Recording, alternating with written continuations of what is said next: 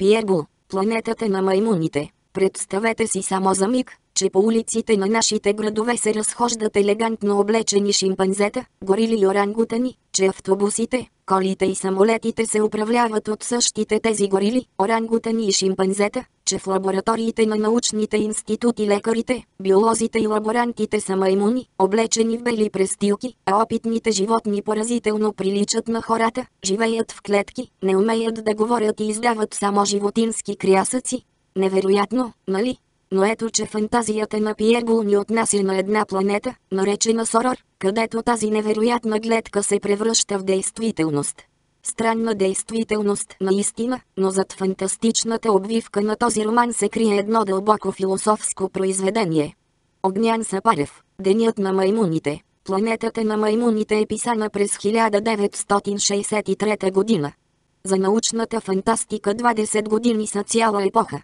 Днес тази история сигурно щеше да бъде разказана по-гротескно и по-жестоко. През последните 20 години антиутопическият сарказъм на западните фантасти, не без помощта на действителността значително се е засилил. Но особеностите на тази антиутопична книга се определят не само от историческия момент и литературната традиция, а и от личността на нейния автор Пиего, един от интересните странни следвоенни френски писатели. В своите разнообразни, реалистични и фантастични произведения той се обръща към парадоксите на човешката природа и цивилизация, които умее да превръща в абсурдни художествени ситуации. Този скептичен и остроумен разобличител на пороците на буржуазното общество се вълнува дълбоко от гротескните взаимоотношения между наука и политика, от смешната абсурдност на религиозните и антимашинни предразсъдъци, от зловещата абсурдност на военната психоза.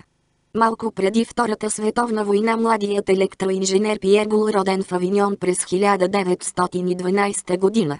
Отива в Малая, за да рационализира производството на каучуковите плантации. Там той открива един друг свят с съвсем различни принципи и ценности. Този факт сигурно не е без значение за характерния му художествен интерес към парадоксалното в живота, както и за лирично-ироничния му хуманизъм. Той обича да иронизира наивната ценност на едностранчивост, осветена от културната традиция. Пиерго е мобилизиран в френската армия в Индокитай, сражава се в Бирма и Китай. Попада в плен у японците, работи в пленнически лагер, успява да избяга, връща се в Франция и взема участие в съпротивата. След войната отново пътешествува до Малая и Африка. Този богат житейски опит, екзотични впечатления и силни преживявания намират израз в обширното му реалистично творчество.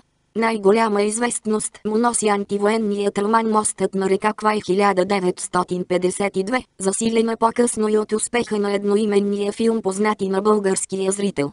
Изображението на военнопленническия лагер в Бирма, на сблъсъка между европейските и японски предразсъдъци издава автентични впечатления, а финалът – военната необходимост от разрушаване на построения с огромни усилия мост, човешката гордост, от който обединява връждуващите, е характерна проява на горчиво-ироничната сюжетна поанта у Пиер Булевард. От реалистичните му произведения трябва да бъдат отбелязани още Палач 1954, Изпитанието на белите хора 1955, Професията на Господ Бог 1960 и други.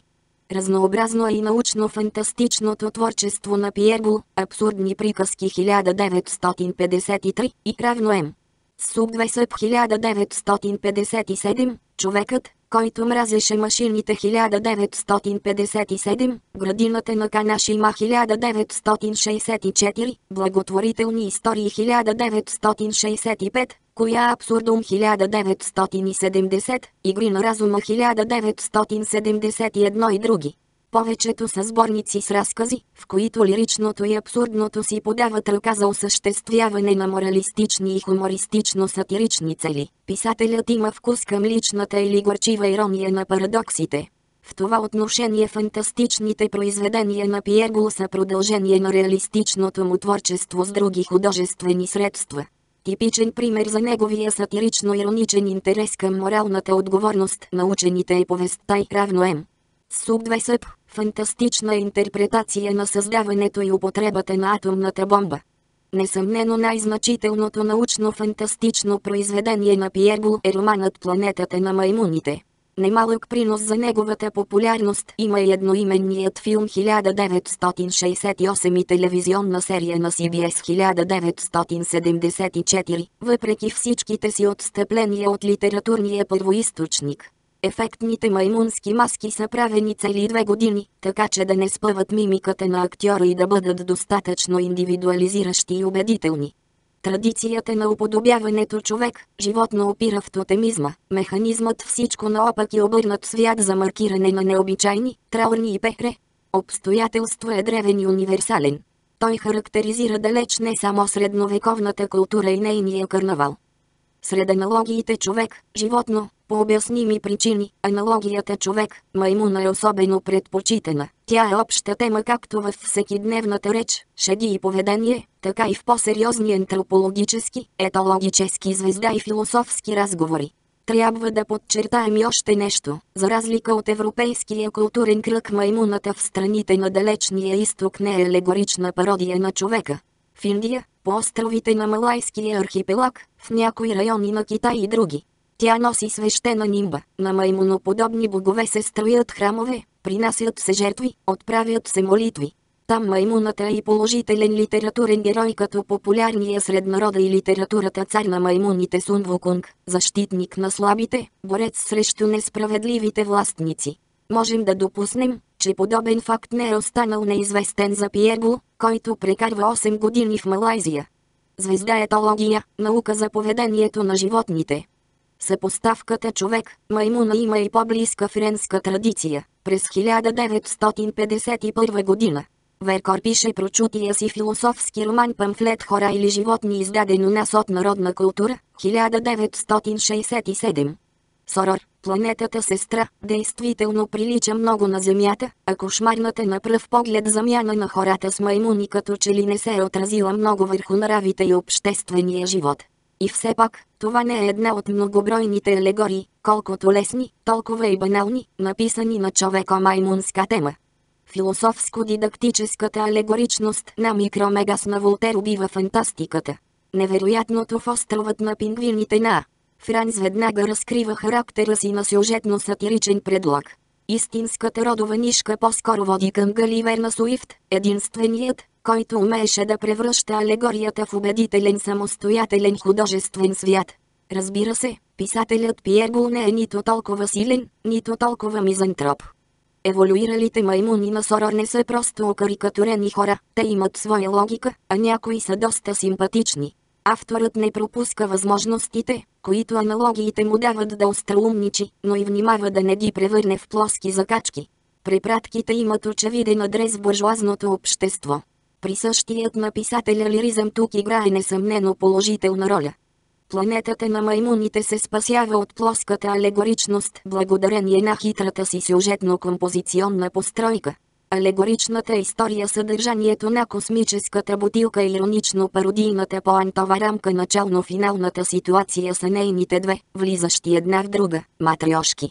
Не трябва да пропускаме обаче третата, най-малка матриошка, от къслечната история на пропадането на човешкото общество на Сорор, възкресена в родовата памет на жената подопитен екземпляр.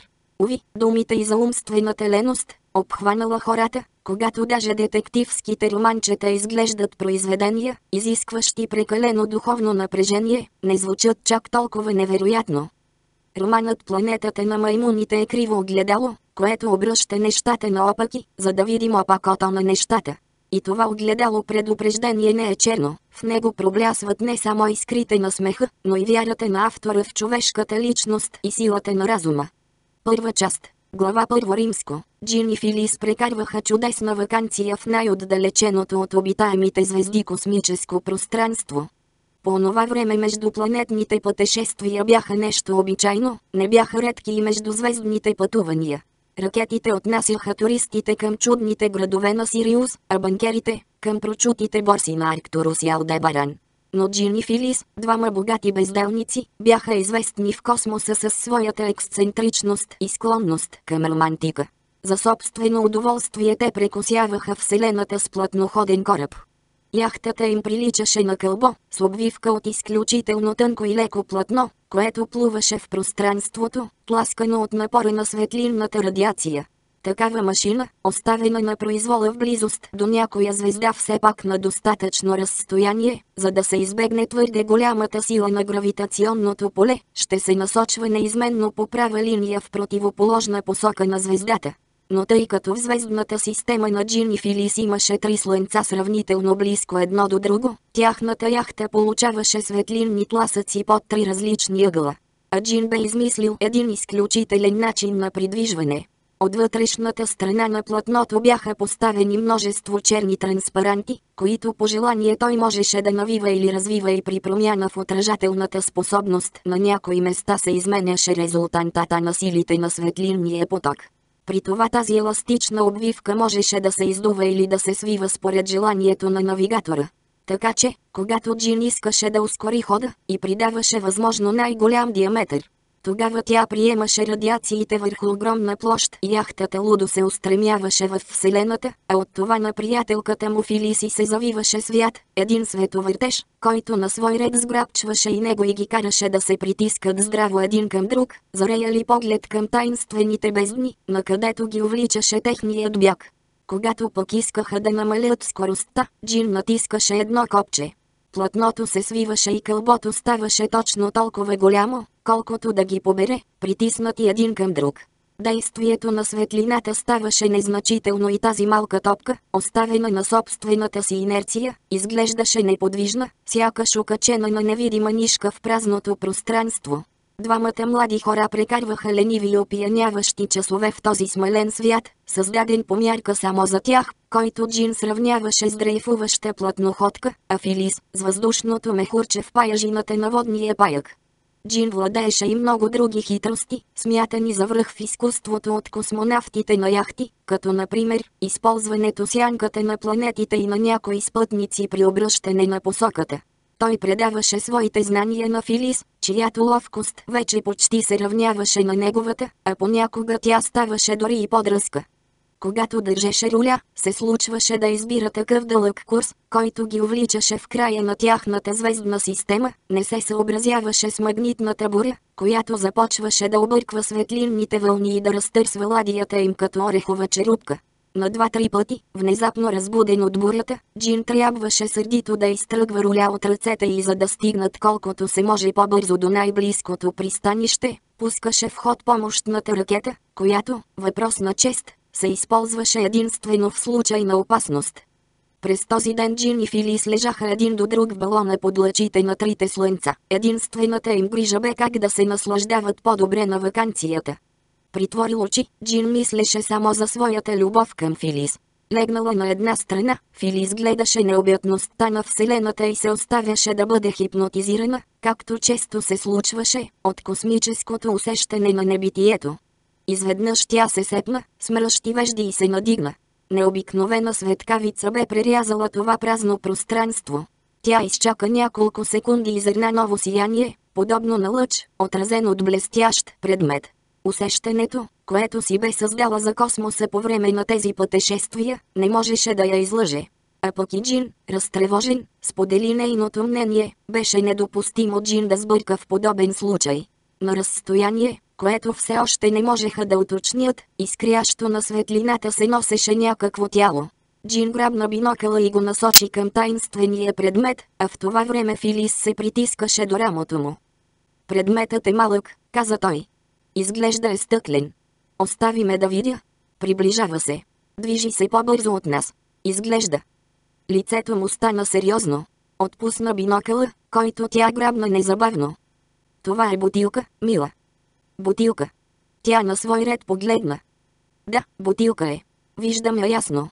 От светло стъкло. Запушена е, виждам тапата. Вътре има нещо бяло. Хартия, сигурно е ръкопис. Джин, трябва да я уловим.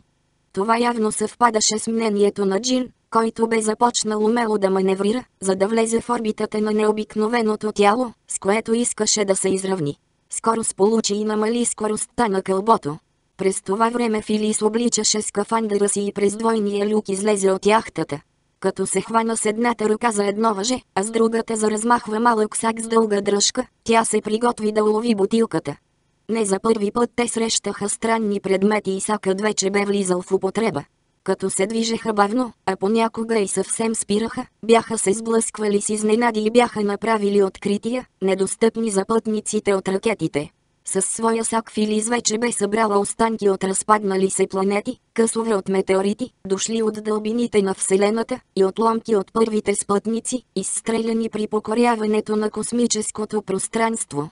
Тя много се гордееше с колекцията си, но за пръв път срещаха бутилка, и то бутилка, в която имаше ръкопис, в това тя вече не се съмняваше. Цялото и тяло тръпнеше от нетърпение, докато жестикулираше подобно на паяк, увиснал на влакно, и по своя телефон крещеше на спътника си. По-бавно, Джин. Не, малко по-бързо, ще ни задмине, наляво. Надясно. Ха така. Хванах я. Тя нададе победоносен вик и се завърна на борда с улова си.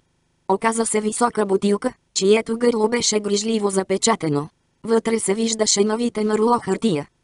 Джин, счупия, по-бързо! Изкрещя Филис, потропвайки с кръка.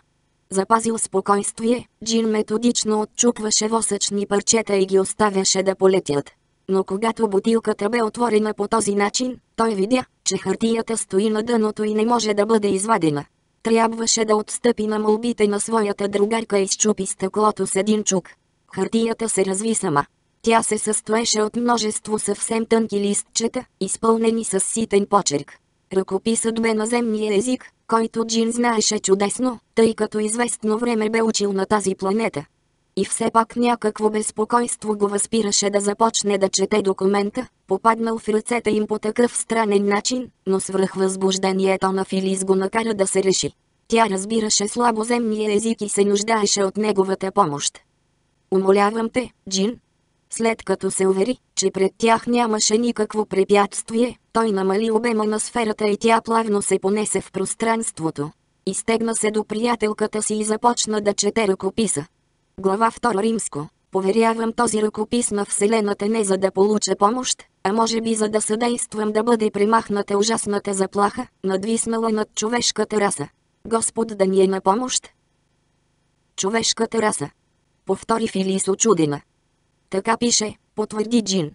Не ме прекъсвай от самото начало. И продължи да чете. Аз, Юли Смеро, отново отлетях с космическия кораб заедно с семейството си. Можем да просъществуваме години. На борда отглеждаме зеленчуци, плодове и птици. Нищо не ни липсва. Може би един ден ще намерим някоя гостоприемна планета. За това мога само да мечтая. Ето точния разказ за моето приключение. През 2500 година се качих в космически кораб с още двама другари с намерението да достигнем онова място в Вселената, където властва свръхгигантската звезда Бетелгойс. Това беше амбициозен план, най-крупният, който някога бе съставен на Земята. Бетелгойс, Алфа на Орион, както я наричаха нашите астрономи, се намира приблизително на 300 светлинни години от нашата планета. Характеризира се с доста особености. Най-напред с размерите си, диаметърът е 300-400 пъти по-голям от този на нашето Слънце, т. Ако центърът му бъде нанесен върху центъра на това звездно тяло, гигантът би се разпрострял до орбитата на Марс. По своя блясък това е звезда от първа величина, най-ярката от съзвездието Орион, видима от Земята с просто око, независимо от отдалечеността си. Спектърът и се състои от червени и оранжеви сияния с най-удивителен ефект. И накрая, това е звезда с променлива яркост, сиянието и семени с течение на времето, вследствие колебанията в диаметъра й. Бетелгой се променлива звезда. Но защо, след като бе установено, че всички планети от Слънчевата система са необитаеми, защо тогава една толкова отдалечена звезда бе избрана за цел на първото междузвездно пътешествие? Това решение бе наложено от професор Антел Дарениела, главен организатор на начинанието, за което изразходва цялото си грамадно състояние и ръководител на нашата експедиция. Той бе проектирал космическия кораб и бе ръководил построяването му. По време на полета ми обясни причината за този избор. Скъпи Юлис, каза той, полетът до Бетелгойс за нас не е по-труден и е съвсем малко по-продължителен, отколкото до някоя много по-близко стояща звезда, например, Проксима на Кентавър. Но аз сметнах, че тук му е мястото да изразя несъгласието си и да изложа знанията си по астрономия, които напоследък бях придобил. Малко по-продължително ли? Все пак Проксима на Кентавър отстои само на 4 светлинни години, докато Бетелгойс. На цели 300, известно ми е. Все пак ние ще я достигнем за не повече от две години, докато в същото време пътуването ни до Проксима на Кентавър би било съвсем малко по-кратко. С това вие не сте съгласен, тъй като сте свикнали с нашите междупланетни пътешествия, тези подскоци на бълхи, за които голямо ускорение е допустимо само в началото, тъй като траят едва няколко минути, а скоростта им в сравнение с нашата е смешно малка. Време е да ви дам някои обяснения относно движението на нашия кораб.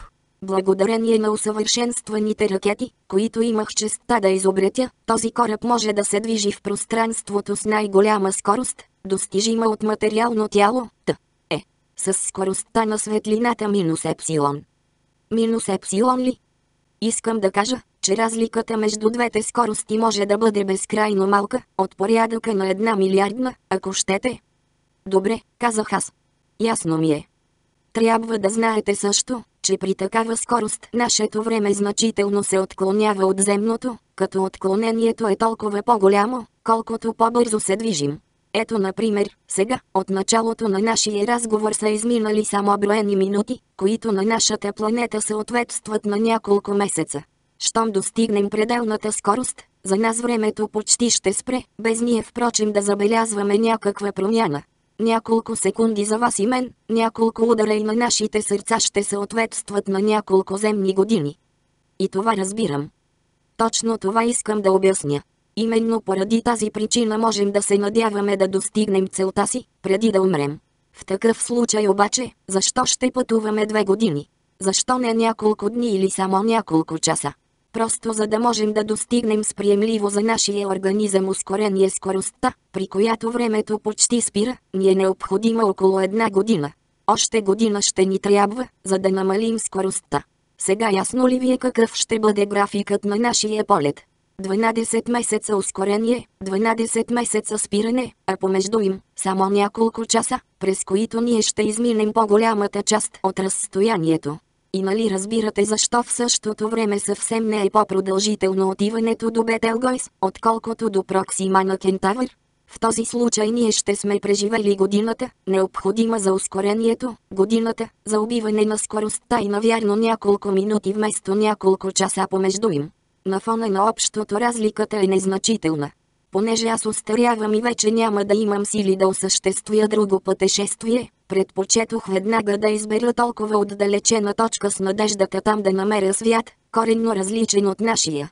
Този род разговори запълваха свободните ни часове на борда и в същото време ме караха да оценявам по-добре изумителните знания на професор Антел. Нямаше област в науката, която той да не беше изследвал, и аз се радвах, че едно толкова рисковано начинание се оглавяваше от подобен ръководител. Както го беше предвидил, пътешествието продължи около две години според нашето време, през които на Земята сигурно бяха изминали три века и половина. Единственото неудобство от голямата отдалеченост на целта ни се състоеше в това, че ако един ден се завърнехме, щяхме да намерим нашата планета остаряла с 7 до 800 години. Това обаче съвсем не ни тревожеше. Дори подозирах, че перспективата да избяга от хората от своето поколение привличаше професора. Той често споделяше, че те го уморявали. Хората, все хората, отново забеляза Филис. Хората, потвърди Джин. Така пише. По време на полета не ни сполетя никакво сериозно происшествие. Бяхме тръгнали от Луната. Земята и всички останали планети скоро изчезнаха от погледа ни. Видяхме как слънцето се смалява, докато достигна големината на портокал, на слива, а след това се превърна в светла точка без измерения, в обикновена звезда, която единствено науката на професора можеше да различи сред милиардите подобни звезди от галактиката. И заживяхме без светлина, но това не ни измъчваше, защото множеството светлинни източници в кораба можеха прекрасно да заместят слънцето. Още по-малко пък скучаехме. Разговорите с професора бяха вълнуващи. За тия две години аз научих повече неща, отколкото за цялото си предишно съществуване, а също така и всичко за управлението на кораба. То бе просто, трябваше само да бъдат вложени необходимите задания в електронните прибори и те сами извършваха всички изчисления и осъществяваха маневрите. Нашата градина бе място за приятни развлечения. За нея на борда бе отделена значителна площ. Между другото професор Антел се интересуваше от ботаника и селско стопанство и искаше да се възползва от пътешествието, за да експериментира някои от своите теории за растежа на насъжденията в условията на извънземното пространство. За опитно поле му служеше едно помещение с форма на куб с страна 10 метра. Благодарение на стелажите, целият обем беше използваем. Почвата се възстановяваше с химически торове и само два месеца след нашето тръгване с радост видяхме да поникват всевъзможни зеленчуци, които ни доставяха изобилна здравословна храна. Не беше забравено и удоволствието. Едно помещение бе отделено за цветята, които професорът отглеждаше с любов.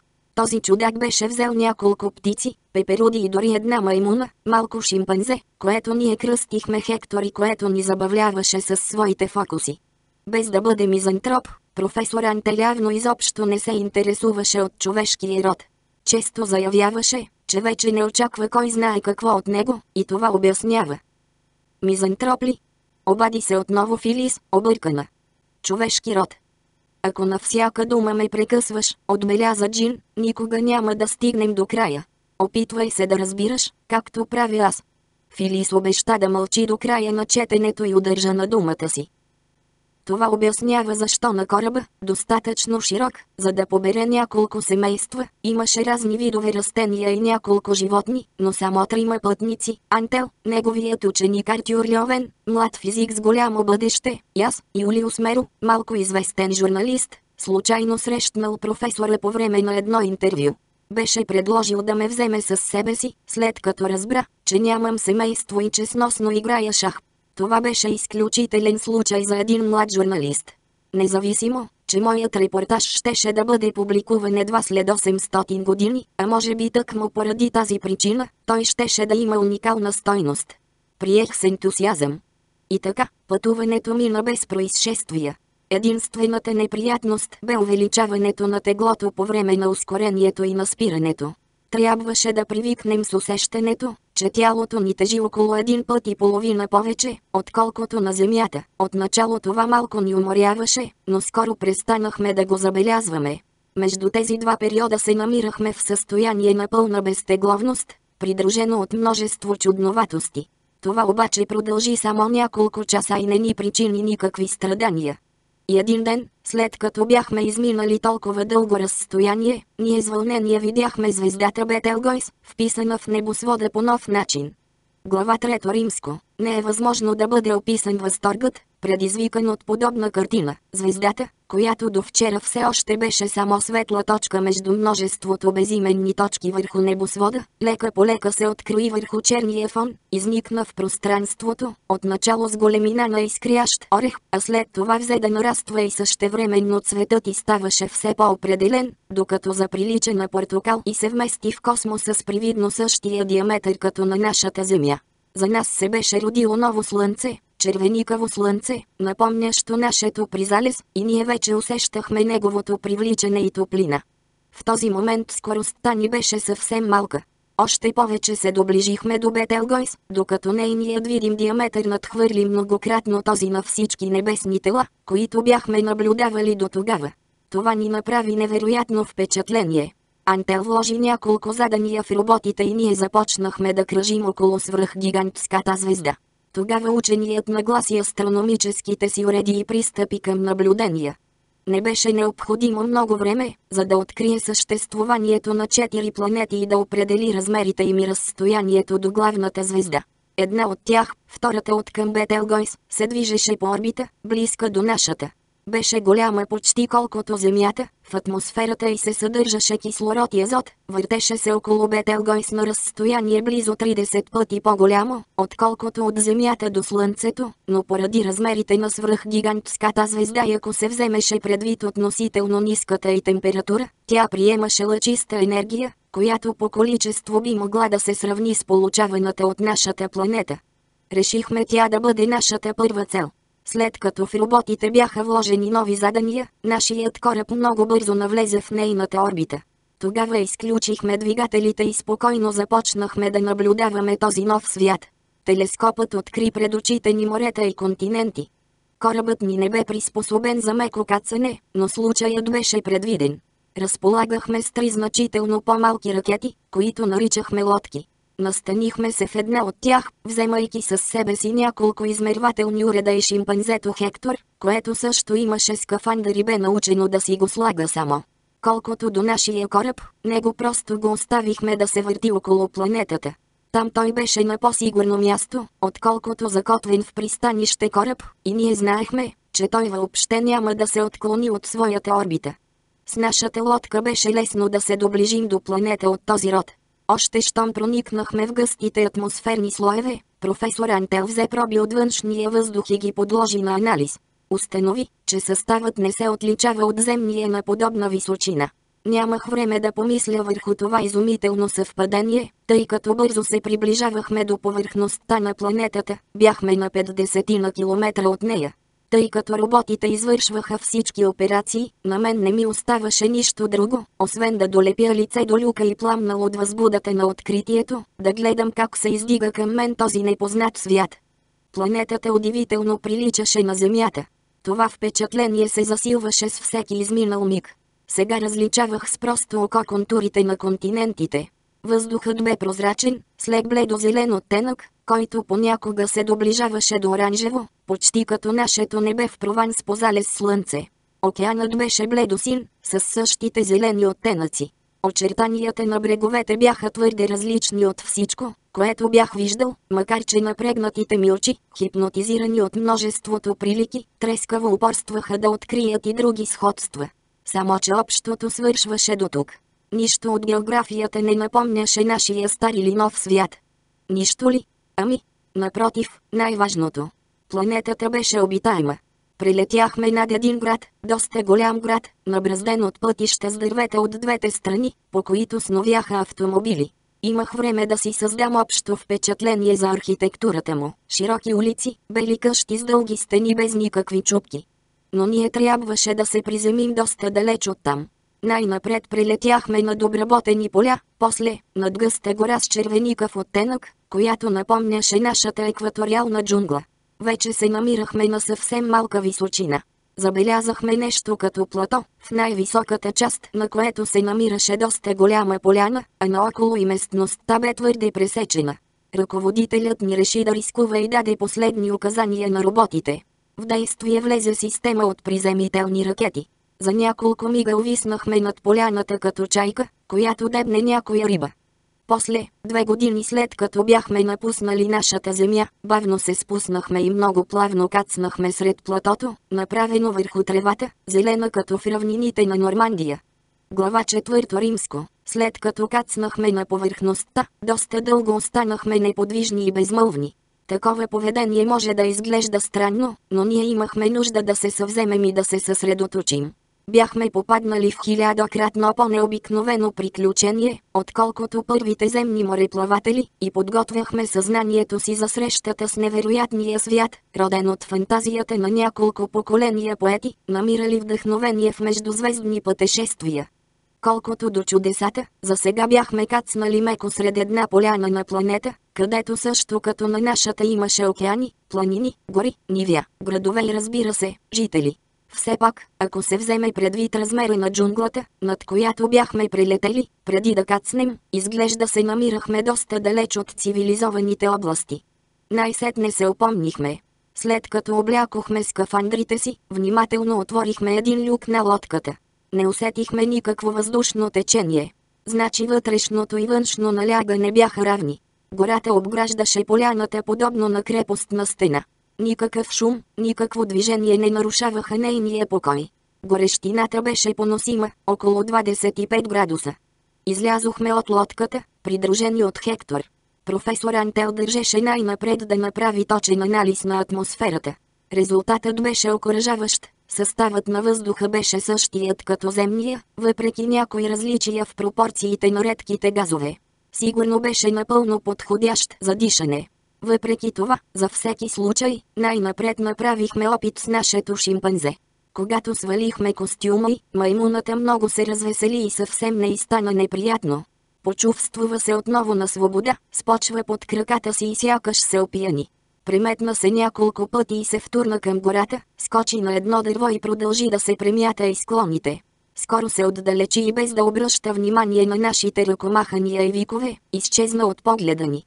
Тогава и ние свалихме скафандрите си, което ни даде възможност да заговорим свободно. Звученето на гласовете ни се стори особено и направихме няколко нерешителни крачки, без да се отдалечаваме от лодката. Без съмнение, намирахме се на някоя сестра близначка на нашата земя. Тук имаше живот. Растителното царство дори беше извънредно пищно.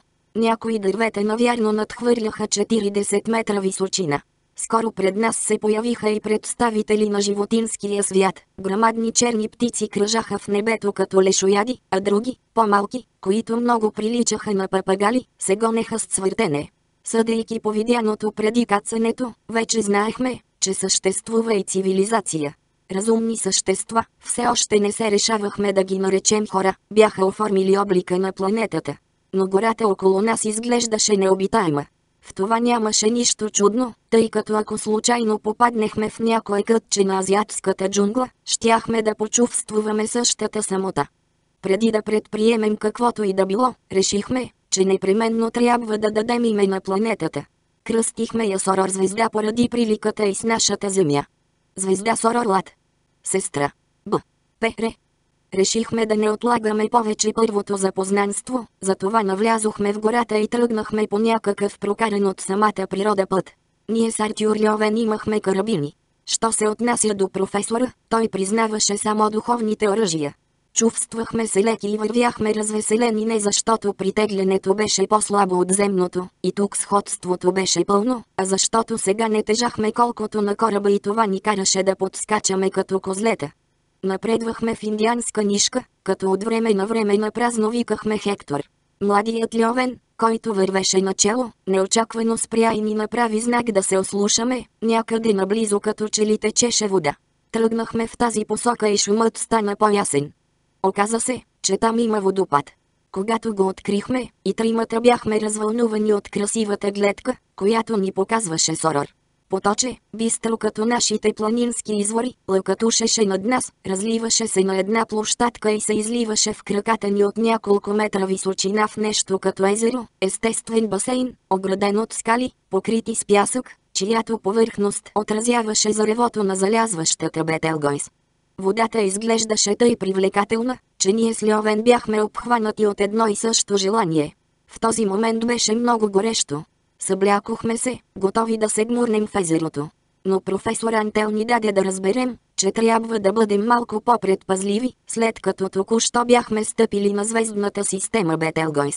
Тази течност може би не беше вода и като нищо можеше да се окаже опасна. Той се приближи до брега, клекна, огледа я, след което внимателно я докосна с пръст. Най-сетне гребна малко в шепата си, помириса я и близна с крайчеца на езика си. Това може да бъде само вода и нищо друго, промърмори професор Антел. Наведе се, за да потопи още веднъж ръка в езерото, когато го видяхме как застина. Възкликна и посочи с пръст следата, която бе открил върху пясъка. Мисля, че по-силно вълнение не бях изпитвал през живота си. Там, под жарките лъчи на Бетелгойс, които се лееха над главите ни от небето, напомнящо грамаден червен балон, съвсем ясно се виждаше отпечатък от човешки крак, прекрасно очертан върху малката пясъчна ивица. Глава Пето Римско. Това е женски крак, заяви Артюр Льовен. Тази категорична забележка, изречена с задавен от вълнение глас, изобщо не ме изненада. Изяществото, елегантността, своеобразната красота на стъпката дълбоко ме бяха впечатливи. Не можеше да съществува никакво съмнение, че следата е от човешки крак. Може да я бе оставил някой юноша или дребен мъж, но много по-вероятно беше, и аз го желаях от все сърце, да принадлежи на жена. Значи Сорор е населена с човешки същества, прошепна професор Антел. В гласа му прозвуча нотка на разочарование, което в този момент понамали симпатиите ми към него. Той повдигна рамене с привичен жест и заедно с нас започна да оглежда пясъка около езерото. Открихме още следи, явно оставени от същото същество. Льовен, който се беше отдалечил от водата, ни показа една върху сухия пясък. Следата беше още влажна. Тя е била тук преди по-малко от 5 минути, възкликна младежът. Щяла е да се къпе, чула ни е избягала. Вече ни бе ясно като бял ден, че това можеше да бъде само жена. Затаихме дъх и вперихме поглед в гората, но оттам не се чу нищо, дори клонче не изпръщя. Имаме достатъчно време, каза професор Антел, повдигайки отново рамене. Но щом човешко същество се е къпало тук, значи, без съмнение няма опасност и за нас. Без да си придава повече важност, сериозният учен на свой ред се съблече и потопи мършавото си тяло в басейна. След дългото пътуване удоволствието от къпането в приятна и хладка вода почти ни караше да забравим нашето скорошно откритие. Само Артюр Льовен изглеждаше замечтан и отнесен. Щях да се пошегувам с меланхоличния му вид, когато зърнах жената точно над нас, кацнала на скалната площадка, откъдето се изливаше водопадът. Никога няма да забравя какво впечатление ми направи появата й. Дъхът ми секна пред чудната красота на създанието, което се появи пред очите ни, покрито с водни капчици, озарено от кърваво-червените лъчи на Бетелгойс. Ако не беше богиня, това беше жена или по-скоро младо момиче. Съвсем гола, без друго украшение освен доста дългата коса, тя дръско излагаше на показ своята женственост срещу чудовищното слънце. От две години ние, разбира се, не бяхме виждали жена и нямахме възможност за сравнение, но никой от нас не беше склонен да се поддава на измамата на миражи. Жената, застанала неподвижна върху площадката, подобно на статуя върху пиедестал, безспорно имаше най-съвършеното тяло, което ние, земните хора, бихме могли да си представим. Льовен и аз затаихме дъх, слисани от възхищение, а струва ми се, че и професор Антел беше развълнуван права, леко наведена напред, с насочени към нас гърди, с ръце, повдигнате назад, заела поза на усмиряващ сегморец, тя ни наблюдаваше с любопитство, което навярно се равняваше на нашето. След като дълго я бях наблюдавал, до такава степен бях омаян, че не можех да различа подробностите в нея, формите й ме хипнотизираха. След няколко минути забелязах, че тя принадлежеше към бялата раса, че кожата й беше по-скоро златиста, отколкото загоряла, че беше висока, но не прекалено, и стройна. После като на сън различих едно лице с невиждана чистота. Накрая я погледнах в очите. Тогава наблюдателните ми способности се възвърнаха, вниманието ми се изостри аз трепнах, защото в погледа й открих нещо необичайно за мен. В него видях онова чудо, оная таинственост, които всички ние очаквахме от един свят, толкова отдалечен от нашия. Аз обаче бях неспособен дори да определя естеството на това странно нещо. Само усещах някакво основно различие между нея и човешките същества. Не се състоеше в цвета на очите, странно сиви, рядко срещани между хората, но не и необикновени. Необикновен беше само погледът им, някаква празнота и липса на изразителност ми напомниха една нещастна умопобъркана, която някога познавах. Но не, не беше това, не можеше да бъде лудост, когато забеляза, че е обект на любопитство, по-точно, когато погледът ми срещна нейния, сякаш нещо я жегна и тя внезапно се обърна инстинктивно като оплашено животно. Тази оплаха не бе предизвикана от свенливост. Бях убеден, че би било оригиналничене да се предположи, че подобно чувство е познато. Погледът ми просто и беше неприятен или не можеше да го издържи. Обърната настрани, тя ни наблюдаваше крадешком съгълчето на окото си. Нали ви казах, че жена, промърмори младият Льовен. Гласът му беше пресипнал от вълнение, той почти шепнеше, но девойката го чу и звукът на говора предизвика странно въздействие върху нея. Внезапно толкова бързо се отдръпна, че отново направих сравнение с инстинкта на ужасено животно, готово да побегне. След като отстъпи две крачки назад, при което скалите закриха по-голямата част от тялото й, тя се спря. Сега виждах само горната половина на лицето и едно око, което продължаваше да ни дебне. Не смеехме да помръднем от страх да не избяга. Нашето поведение я успокои. След малко тя отново пристъпи към ръба на площадката. Младият Льовен обаче беше твърде възбуден, за да може да удържи езика зад зъбите си. Никога не съм виждал. Започна той, но моментално млъкна, разбирайки непредпазливостта си. Тя пак бе отскочила назад по същия начин, сякаш човешкият глас я ужасяваше. Професор Антел ни направи знак да мълчим и отново нагази във водата, като даваше вид, че не й обръща никакво внимание. Възприехме неговата тактика, която се увенча с предишния успех. Тя не само отново се приближи, но скоро прояви към нашите тактически маневри видим интерес, изразяван по доста странен начин, който възбуждаше още повече нашето любопитство. Наблюдавали ли сте понякога на плажа някое младо страхливо куче, чието господар се къпе? То умира от желание да отиде при него, но не се решава. Прави три крачки в една посока, три в обратната, отдалечава се, приближава се, поклаща глава, разтърсва козината си. Точно такова беше и държанието на това момиче. И неочаквано ние чухме гласа й, но звуците, които издаде, още повече засилиха впечатлението за животинското у нея, предизвикано от държанието й. В този момент тя беше застанала на самия крайчец и човек можеше да си помисли, че ще се хвърли в езерото. За миг беше прекъснала движението си, напомнящо някакъв танц. Отвори уста. Аз бях малко в страни и можех да я наблюдавам, без да бъда забелязан. Помислих си, че ще проговори, ще извика. Очаквах да ни повика. Бях подготвен да чуя най-дивашкия език, но не и тези странни звуци, които излязоха от гърлото й, именно от гърлото й, тъй като нито устата, нито езикът ти взеха някакво участие в това меукане или остро писукане, които като че ли изразяваха радост на животинска възбуда.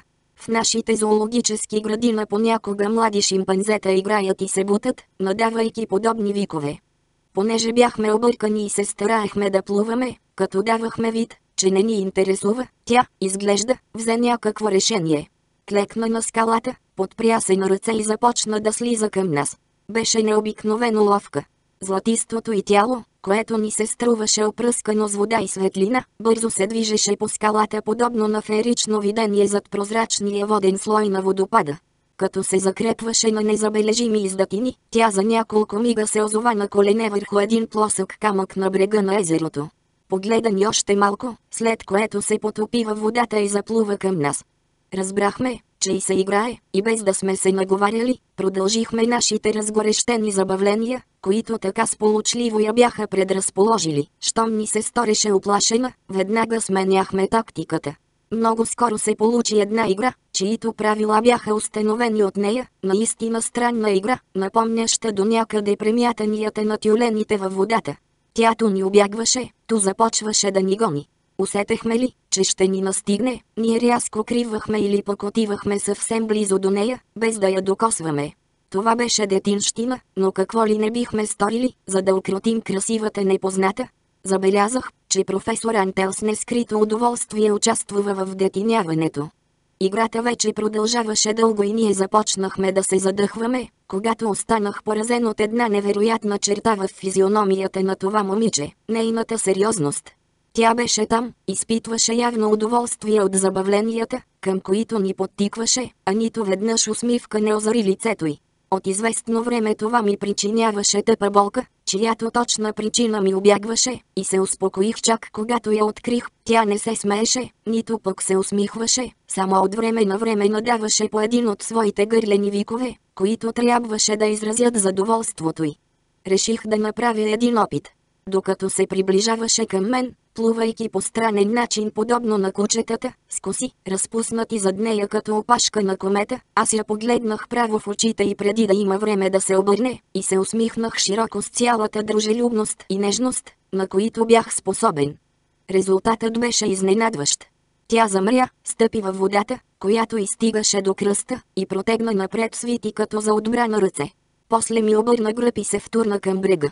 На излизане от езерото се поколеба, извърна се, загледа на косо в мен, както докато стоеше на площадката, слисана като животно, подушило опасност. Може би доверието й се възвърна, защото усмивката ми беше изчезнала, а аз продължавах да плувам с невинен вид, но ново происшествие възобнови тревогата й. Чухме шум в гората и пред очите ни се появи приятелят ни Хектор, който игриво се запремята от клон на клон, стъпи на земята и спод скоци тръгна към нас, преизпълнен с радост, че ни беше намерил. Животинската гримаса на ужас и заплаха, която се изписа върху лицето на девойката при вида на маймуната, ме накара да се втрещя. Тя се присви и така се долепи до скалите, че се сля с тях, мускулите й се напрегнаха, краката й се огънаха, сгърчи пръсти като животно, което показваше ногтите си. И всичко това заради едно мило малко шимпанзе, което се стараеше да ни развесели. Тя подскочи, когато то мина покрай нея, без да я забележи. Тялото й се изпъна като лък. Вкопчи се в гърлото на нещастника, който не можеше да помръдне в мен името на бедрата й. Нападението й беше толкова бързо, че ние не можахме да се намесим. Маймуната направи плах опит за съпротива. След няколко мига се вцепени и когато девойката я пусна, тя вече беше мъртва. В романтичен порив на сърцето си бях нарекал това лъчезарно създание нова, тъй като можех да сравня появата единствено с изгоряването на изкряща звезда. И така нова в истинския смисъл на думата бе удушила едно приятелски настроено и безобидно животно. Когато дойдохме на себе си, вече беше твърде късно да спасяваме Хектор. Нова се обърна с лице към нас, сякаш се готвеше за отбрана, отново протегна ръце, присви устни, зае заплашителна поза, която ни прикова на място. След това нададе последен остър вик, който би могъл да се възприеме като победна песен или като гневен крясък и побягна в гората. За няколко мига златистото и тяло изчезна в хръстелаците, които го скриха от очите ни, и ние отново останахме озадачени сред тишината на джунглата. Глава 6 Римско дали не е дивачка от някое нецивилизовано племе, като тия, които се срещат в Нова Гвинея или изгорите на Африка? Бях го казал без никакво убеждение. Артюр Льовен почти злобно ме попита дали някога съм забелязвал подобна походка и изящество сред първобитните хора. Той беше напълно прав и аз не знаех какво да отговоря. Професор Антел, който даваше вид на дълбоко замислен, все пак ни беше чул. И най-първобитните племена на земята имат език, каза най-сетне той. А тази не говори. Обиколихме околността на потока, без да намерим някаква следа от непознатата. Тогава се върнахме на поляната при нашата лодка. Професорът смяташе отново да излетим, за да кацнем в някой по-цивилизован район. Но Льовен предложи да изчакаме поне 24 часа, за да се опитаме да установим други контакти с обитателите на тази джунгла. Аз подкрепих неговото предложение, което в крайна сметка надделя. Не се осмелявахме да си признаем, че надеждата да видим отново непознатата ни задържаше по тези места. Краят на деня мина без происшествия, но надвечер, след като се бяхме наслаждавали на фантастичния залез на Бетелгойс, чието размери надхвърляха всякаква човешка представа, усетихме някаква промяна около нас. Джунглата се оживяваше от скърцания и краткотрайни потръпвания и ние усетихме, че невидими очи ни дебнат през листата. Все пак прекарахме спокойна нощ, барикадирани в нашата лодка, като подред стояхме на пост. На разсъмване отново ни връхлетя същото усещане и ми се стори, че чувам къси, остри викове, каквито нова издаваше вчера. Но не се появи нито едно от създанията, с които нашето трескаво съзнание населяваше гората. Тогава решихме да се върнем при водопада. През целия път бяхме обзети от чувство, че ни следват и дебнат същества, които не смеят да се покажат. Но нали вчера нова бе дошла при нас? Навярно дрехите ни ги плашат, каза внезапно Артюр Льовен. Думите му сякаш ме просветлиха. Ясно си спомних, че когато след удушването на маймуната нова побягна, тя се озова пред купчината от нашите дрехи. Тогава рязко бе свърнала, за да ги избегне, подобно на плашлив кон. Хайде да проверим, казах аз. Съблякохме се, гмурнахме се в езерото и подновихме вчерашната игра, уж безразлични към всичко, което ни заобикаляше. Старата уловка отново постигна успех. След няколко минути забелязахме девойката върху скалистата площадка, без да чуем кога беше дошла. Не беше сама. До нея стоеше един съвсем гол мъж, който изглеждаше точно като мъжете на земята. Беше в зряла възраст и толкова приличаше на нашата богиня, че го взех за нейн баща. Също като нея и той ни гледаше объркан и развълнуван. Заедно с тях имаше и много други. Постепенно ги открихме, като същевременно се стараехме да запазим привидното си безразличие. Излизаха крадешком от гората, докато образуваха затворен кръг около езерото. Всички те представляваха расови образци на човешката порода, мъже и жени с златиста кожа, които, сякаш измъчвани от голяма възбуда, издаваха от време на време къси крясъци. Бяхме обградени и доста разтревожени, тъй като помнехме случая с шимпанзето. Поведението им обаче не беше заплашително, просто и те изглеждаха заинтересовани от играта ни. Точно така беше. Скоро нова, която вече смятах за стара позната, влезе във водата и останалите един по един я последваха с повече или по-малко колебание. Всички дойдоха и като вчера започнахме да се гоним подобно на тюлените, само че сега около нас жапаха и се плискаха двадесетина от тези странни същества, чието сериозни лица съвсем не подхождаха на детинското им поведение. След четвърт час тази лудория започна да ме уморява. Заради хлапашки забавления ли бяхме дошли на Бетелгойс? Почти се срамувах от себе си и ми стана мъчно, като установих, че тази игра доставяше голямо удоволствие на професор Антел. Но имахме ли друг избор? Човек едва ли може да си представи колко трудно би се разбрал с същества, които не могат да говорят, нито да се усмихват. Все пак аз се опитах. Започнах да ръкомахам, като се мъчех във всеки жест да влагам определено значение. По най-приятелски начин кръстосах ръце върху гърдите си и се поклоних подобно на китайците. Изпратих им въздушни целувки. Никоя от тези прояви обаче не предизвика ни най-малък ответ. Никакъв проблясък на разбиране не се появи в зениците им. Когато по време на пътуването бяхме спорили за възможни срещи с живи същества, в представите ни изникваха безформени, ужасни създания, чието физически облик нямаше нищо общо с нашия, но неизменно предполагахме присъствие на разум от тях. Действителността на планетата Сорор изглеждаше коренно различна. Имахме работа с население, което физически приличаше на нас, но, изглежда, беше напълно лишено от разум. Само така можеше да се обясни погледът, който ме беше смутил нова и който откривах у всички останали. Отсъствие на разсъдък, липса на душа. Интересуваше ги единствено играта. И то игра, която непременно трябваше да бъде глупава, Хрумна ни идеята малко да я усложним, вземайки предвид възможностите им. Както бяхме до пояс във водата, ние тримата се хванахме за ръце и образувахме нещо като кръг и подобно на малките деца започнахме едновременно да вдигаме и сваляме ръце. Това, изглежда, никак не им хареса. Повечето се отдръпнаха от нас, някои започнаха да ни наблюдават с такова явно неразбиране, че и самите ние се объркахме. А смущението ни беше толкова силно, че стана причина за нещастието. Бяхме така объркани от вида си, трима олегнали мъже, единият от които беше световно известен, хванати за ръце, готови да заподскачат в кръг като децата под присмехулното око на Бетелгойс, че не можахме да запазим сериозния си вид. Толкова се бяхме напрегнали за четвърт час, че сега имахме нужда да се отпуснем. Избухнахме в неудържим налудничав смях. В продължение на няколко секунди се превивахме на две, без да можем да се овладеем. Нашето кикотене най-сетне предизвика отклик сред тези хора, но той в никакъв случай не се покриваше с желанията ни. Сякаш буря се изви над езерото. Те се разбягаха като обезумели на всички страни, което при други обстоятелства би ни се сторило смешно. След малко се озовахме сами във водата.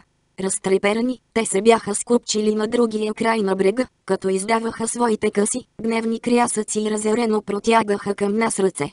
На лицата им беше изписана закана, която ни оплаши. Тръгнахме към оръжията си, но разумният антел тихичко ни заповяда да не си служим с тях и дори да не ги пипаме, докато не се приближат. Облякохме се бързо, без да ги изпускаме от очи. Но едва бяхме нахлузили панталоните и ризите си, когато възбуждението им достигна до истерия. Изглежда не можеха да понасят вида на облечени хора. Някои побягнаха, а останалите тръгнаха към нас с протегнати напред ръце и свити умруци. Сграбчих карабината си. И колкото и невероятно да изглежда, тези тъпи същества сякаш схванаха значението на жеста ми, обърнаха гръб и изчезнаха сред дърветата.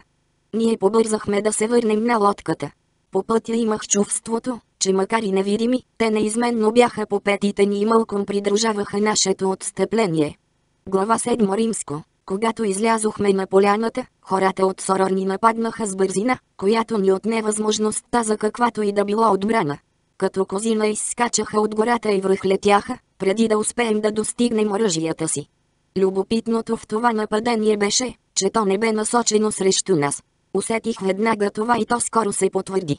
Нито за момент не почувствувах, че се намирам в смъртна опасност, в каквато беше Хектор. Те не искаха живота ни, а дрехите и цялото снаряжение, което носехме. След миг вече не можехме да помръднем. Вихрушка от опипващи ръце изтръгваха оръжието, мунициите и раниците ни, за да ги захвърлят надалеч, докато други с настървение смъкваха дрехите ни, за да ги разкъсат.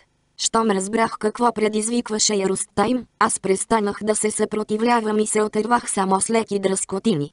Антел и Льовен последваха примера ми и скоро се озовахме голи като червей сред група мъже и жени, които явно успокоени от вида ни, отново започнаха да подскачат наоколо ни, но да избягаме беше съвсем невъзможно, тъй като не ни даваха възможност да мръднем. Сега по поляната можеха да се наброят поне стотина други. По-отдалечените се нахвърлиха върху лодката ни с ярост, равна на онази, която ги беше накарала да накъсат дрехите ни. Гледах с отчаяние как разграбват нашия ценен кораб, но въпреки това се замислих за държанието им и ми се стори, че се умях да схвана главното. Предметите докарваха до ярост тези същества. Всичко фабрично предизвикваше техния гняв, както и страха им. Всеки попаднал в ръцете им инструмент те задържаха само колкото да го щупят, да го разкъсат или да го изкривят. След това бързо го захвърляха надалеч, сякаш беше нажежено желязо, и ако в последствие рискуваха отново да го пипнат, то бе само за да го доразрушат. Напомняха ми на котка, която се бори с грамаден плъх, полумъртъв, но все още опасен, или на мангуста, която е хванала змия. Вече отбелязах любопитния факт, че ни бяха нападнали с голи ръце, без да си послужат дори стояга. Безпомощни наблюдавахме разграбването на нашата лодка. Вратата бързо отстъпи под натиска им. Втурнаха се вътре и разрушиха всичко, което можеше да бъде разрушено, особено най-ценните бордови прибори, чието остатъци разхвърлиха наоколо. Този грабеж продължи дълго. След това, без да се занимават повече с нас, отново започнаха да се гонят между дърветата, игра, която, изглежда, беше основното им занимание. Стълполихме се на земята, затъпели от умора, и се възползвахме от този отдих, за да обсъдим шепнешком положението си. Нашият ръководител трябваше да вложи цялата си философия, за да ни попречи да изпаднем в мрачно обезсърчение. Свечеряваше се. Ако се бяхме възползвали от това, че никой не ни обръщаше внимание, сигурно щяхме да успеем да избягаме, но къде? Дори и да намерехме обратния път, нямаше никаква надежда, че ще можем да използваме лодката. Стори ни се по-разумно да останем там, където бяхме, и да се опитаме да усмирим тези странни същества. От друга страна, ни мъчеше глад. Станахме и направихме няколко плахи крачки. Хората продължаваха безсмислените си забавления, без да ни обръщат никакво внимание. Изглежда само нова не ни беше забравила. Тя ни последва на известно разстояние, като всеки път, що ме погледнехме, обръщаше глава. Обиколихме на посоки наоколо и открихме, че се намираме в нещо като лагер. Жилищата не бяха дори колиби, а наподобяваха гнездата на големите маймуни от нашата африканска гора. Просто няколко преплетени клонака, поставени направо на земята или вместени в ниските чатали на дърветата. Част от гнездата бяха заети от сгушени мъже и жени, не виждам по какъв друг начин бих могъл да ги нарека. Голяма част от тях, по двойки, унесени в дрямка, притиснати един към друг като премръзнали кучета. В някои от по-обширните заслони имаше по цели семейства и там забелязахме много заспали деца с хубав и здрав вид. Но това съвсем не разрешаваше въпроса с храната. Най-сетне под едно дърво видяхме едно семейство, което се готвеше да яде, но храната им в никакъв случай не можеше да ни съблазни. Без помощта на какъвто и да било инструмент те разкъсваха някакво доста голямо животно, което приличаше на елен. С зъби и ногти късаха парчета сурово месо, които поглъщаха цели и изплюваха само ивици кожа. Наоколо нямаше никаква следа от къщи. От този пир ни се повдигаше, а пък и след като се доближихме на няколко крачки, разбрахме, че съвсем не сме поканени да споделим трапезата им. Тъкмо обратното. Няколко изръмжавания ни накараха бързо да се отдалечим. На помощ ни се притече нова. Дали го направи, защото най-после бе разбрала, че бяхме гладни. Тя всъщност можеше ли да разбере нещо? Или пък самата тя беше гладна? Във всеки случай се приближи до едно високо дърво, чието дънер обхвана с бедрата си, изкатери се до короната му и изчезна в листока. След няколко мига видяхме да се сипят на земята плодове, които приличаха на банани. След това слезе, взе два-три от тях и започна лакомо да ги яде, като не откъсваше очи от нас. След известно колебание се осмелихме да я последваме. Плодовете се оказаха доста вкусни и ние отолихме глада си, а през това време тя ни наблюдаваше, без да изразява недоволство. Пихме вода от едно поточе и решихме там да пренощуваме. Всеки си избра място в тревата, за да си направи гнездо, подобно на тези от селището. Нова беше така заинтересована от работата ни, че дори се доближи до мен, за да ми помогне да скърша един упорит клон. Този жест ме трогна, а на младия Льовен му стана много мъчно и веднага си легна, зарови се в шумата и ни обърна гръб. Колкото до професор Антел, той вече спеше, понеже беше капнал от умора. Мотаех се около леглото си, а Нова продължаваше да ме наблюдава изотзад. Когато аз легнах, тя дълго остана неподвижна, сякаш не можеше да се реши, след което се приближи с ситни колебливи крачки. Аз не помръднах. Тя се сгуши до мен и нищо вече не ни отличаваше от останалите двойки на това странно племе, които лежаха в гнездата.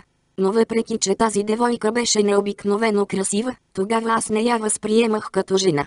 Държеше се като опитомено животно, което търси топлината на своя господар.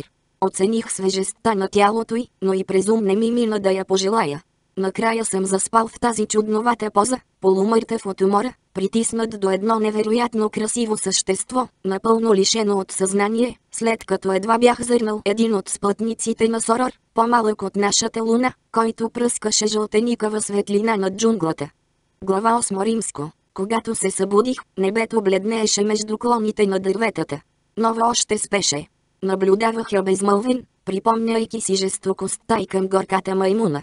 Несъмнено именно тя беше в основата на нашето премеждие, като ни беше показала на своите другари. Но как можеше човек да й се сърди за това, след като бе видял хармонията на нейното тяло? Внезапно нова се размърда и вдигна глава. Ужас проблесна в очите и аз усетих как мускулите й се напрягат. Моята неподвижност обаче малко по малко смекчи изражението й. Тя си припомняше. За пръв път известно време издържа погледа ми. Сметнах, че това е лично моя победа и забравяйки вчерашното и вълнение, аз се усмихнах пред тази земна проява. Този път реакцията й не беше толкова бурна. Тя потръпна, отново напрегната като заскок, но остана неподвижна. Окоръжен, аз се усмихнах по-широко. Тя пак потръпна, но накрая се успокои и скоро лицето й доби крайно очудено изражение. Дали пък не бях успял да я укротя? Осмелих се да поставя ръка на рамото й. Тя потрепери, но и този път не помръдна.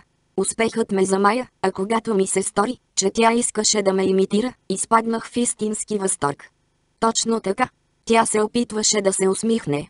Отгатвах мъчителните й усилия да свие мускулите на нежното си лице. Направи няколко такива опита, но постигна само една болезнена гримаса. В този непосилен стремеж към едно тъй обикновено човешко изражение, и то без никакъв резултат, имаше нещо вълнуващо. Неочаквано се трогнах, изпитах съжаление като към недъгаво дете. Стиснах рамото й. Доближих лице до нейното. Докоснах устните й. В отговор тя потри нос в моя и облиза бузата ми. Бях объркан и нерешителен. Съвсем на слуки, несръчно я имитирах. Все пак аз бях чуждоземен посетител и на мен се полагаше да освоя нравите на голямата звездна система на Бетелгойс. Като че ли това и достави удоволствие но опитите ми за сближаване спряха до тук, тъй като аз недоумявах какво да правя по-нататък, притеснен от мисълта да не би моите земни обноски да ме доведат до някоя грешка, когато някаква страхотна врява ни накара да скочим на кръка. Двамата ми приятели, които егоистично бях забравил, и аз скочихме прави в зараждащата се зора. Нова скочи още по-бързо, като даваше признаци на съвсем обезумяла. Веднага разбрах, че тази врява беше неприятна изненада не само за нас, но и за всички жители на гората, защото всички напускаха леговищата си и се мятаха насам натам в безпорядък. Това не беше игра като с нощната, виковете им изразяваха страхотен ужас. От тази олелия, раздрала неочаквано горската тишина, кръвта се смразяваше, а освен това според мен обитателите на джунглата знаеха на какво се дължи и ужасът им бе предизвикан от приближаването на точно определена опасност. Това беше странна какофония, смесица от стремителни звуци, напомнящи глухо биене на барабан, някакви неблагозвучни чукания по тенеки и крясъци. Виковете ни направиха най-силно впечатление, защото въпреки че не можеха да бъдат отнесени към който и да било познат език, те безспорно бяха човешки. Вече се зазоряваше и ние можехме да видим необикновената сцена, която се разиграваше в гората. Мъже, жени, деца тичаха в безпорядък, разминаваха се, блъскаха се, дори се катереха по дърветата, сякаш за да потърсят убежище. Скоро обаче някои измежду най-възрастните спряха, за да наострят слух и да чуят. Шумът приближаваше доста бавно. Идваше от най-гъстата част на гората, от различни места, но като че ли разположени на еднакво разстояние по една доста дълга линия. Приличаше ми на врявата, която вдигат ловците, за да подгонят дивеча по време на голям лов. Старейшините на племето, изглежда, взеха някакво решение. нададоха множество писъци, които несъмнено имаха значение на някакви знаци или заповеди и хукнаха в посока, противоположна на шума. Всички останали ги последваха и ние ги видяхме да галопират наоколо ни като стадо подгонени елени. Нова се бе затичала, но внезапно се поколеба и се обърна към нас. И по-точно, както ми се стори, към мен. Изстена жално, което аз взех за покана да я последвам, после подскочи и изчезна. Врявата все повече се усилваше и на мен ми се струваше, че чувам пръщенето на шубраците като под тежки стъпки. Признавам, че загубих хладнокръвието си. Все пак благоразумието ме съветваше да не мърдам и да посрещна без страх приближаващите непознати, които, всяка измината минута ставаше все по-ясно, издаваха човешки викове.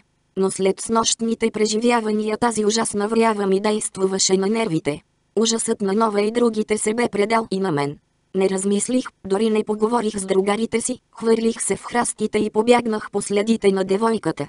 Изминах няколко стотин метра, без да успея да я настигна, и тогава забелязах, че само Льовен ме беше последвал, тъй като такова тичане бе непосилно за възрастта на професор Антел. Младежът се задъхваше до мен. Спогледахме се, засрамени от поведението си, и тък му щях да му предложа да се върнем назад или поне да почакаме шефа си, когато ни стреснаха нови шумове. Тях не можех да сбъркам. Изстрели разтърсваха джунглата. Един, два, три, последвани от множество други на неравни интервали, понякога единични, понякога два един след друг, странно напомнящи ловджийски карамбол. Стреляха пред нас, в посоката, в която тичаха бегалците. Докато ние се колебаехме, врявата, която вдигаха, се приближи почти до нас и ние отново изпаднахме в паника. Не зная защо, стрелбата ми се видя по-безопасна или поне по-позната от адската шумотевица. Инстинктивно продължих да тичам напред, като все пак се стараех да се прикривам зад храстите и да се движа колкото е възможно по-безшумно. Другарят ми ме последва. Така стигнахме до мястото на изстрелите. Забавих ход и почти пълзешком продължих да се промъквам напред. Льовен продължаваше да ме следва. Изкатерих се по нещо като хълм и спрях на върха, за да си поема дъх. Отпреде ми имаше само няколко дървета и тънка преграда от хръстелаци. Предпазливо протегнах шия, без да повдигам глава от земята. За няколко мига останах поразен, изумен от невероятната гледка, която моят жалък човешки разум не можеше да побере.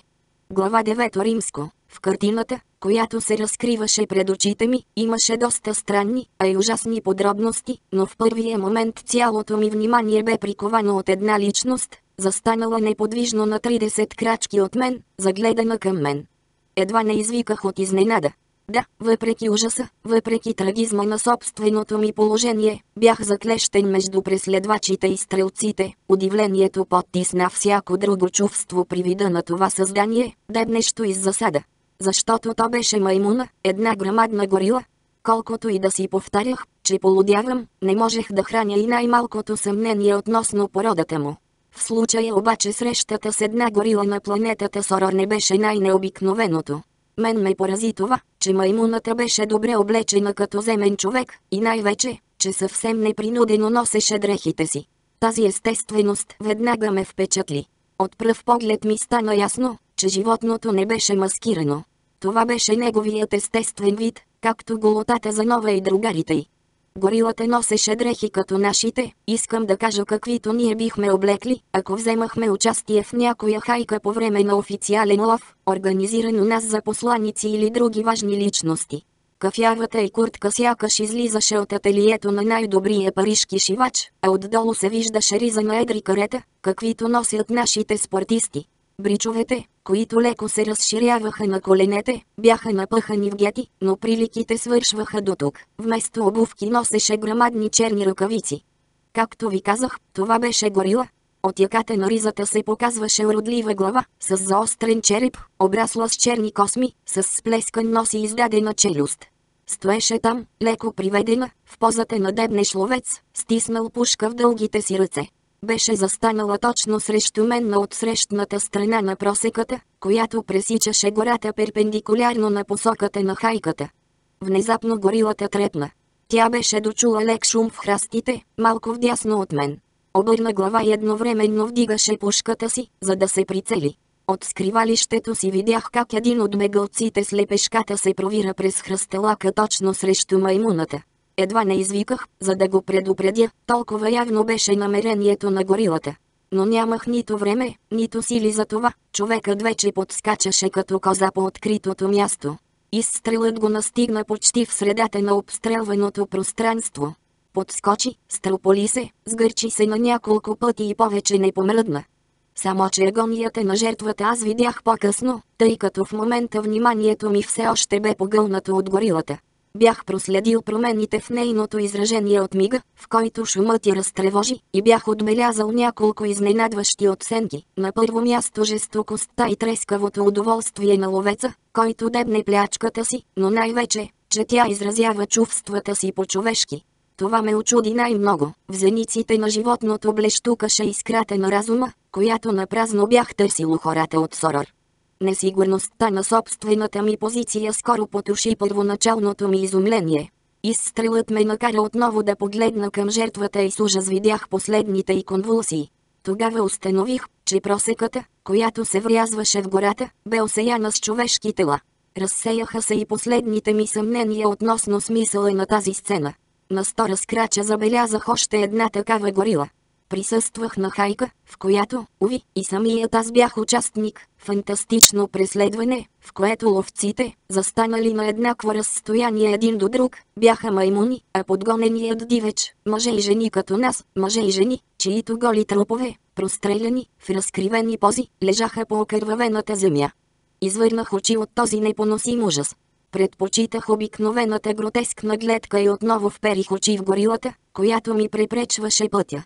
Тя беше пристъпила настрани и по този начин ми даде възможност да видя друга маймуна, застанала малко по-назад, като слуга до господаря си. Според мен това беше едно шимпанзе, дребно, младо, но обикновено шимпанзе, кълна се в това. Носеше панталони ризане до там изискани като на горилата, но пъргаво се справяше с ролята си в тази организация, чиято структура започвах да разбирам. Ловецът едва му бе подал пушката си и шимпанзето му протегна друга. След това с точни движения, използвайки патрондаша, припасен около кръста й, изкрящ под лъчите на Бетелгойс, малката маймуна отново заради оръжието, след което всеки застана на старото си място. В продължение на няколко мига бях като шашнат от всички тези впечатления. Искаше ми се да помисля, да анализирам откритията, но нямах време.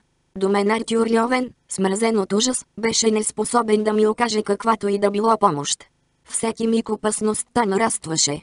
Преследвачите се приближаваха. Врявата ставаше оглушителна. Бяхме подгонени като диви зверове, като нещастните създания, които все още притичваха по край нас. В селището, изглежда, живееха повече хора, отколкото бях предполагал, защото мнозина продължаваха да изскачат на пътеката, за да намерят там една ужасна смърт. Все пак не всички. Докато правех усилия да възвърна до някъде хладнокръвието си, от върха на хълма наблюдавах поведението на бегалците. Някои, съвсем обезумели, се втурваха шумно направо през храстите, което пък възбуждаше вниманието на маймуните и те сточени с стрел ги поваляха. Други обаче показваха повече разсъдък като старите глигани, многократно подгонвани, научили множество хитрини. Те тихичко се промъкваха, спираха за малко на край гората и през склоните дебнеха кога вниманието на най-близкия ловец ще бъде отвлечено на друга страна. Тогава с светкавичен скок прекосяваха смъртоносната пътека. Така много от тях успяха да стигнат невредими до отсрещното сечище, в което изчезваха. Там може би имаше надежда за спасение. Направих знак на Льовен да ме последва и безшумно се търкулнах в гъстелака непосредствено до пътеката. В този момент ме обзе смешно негодование.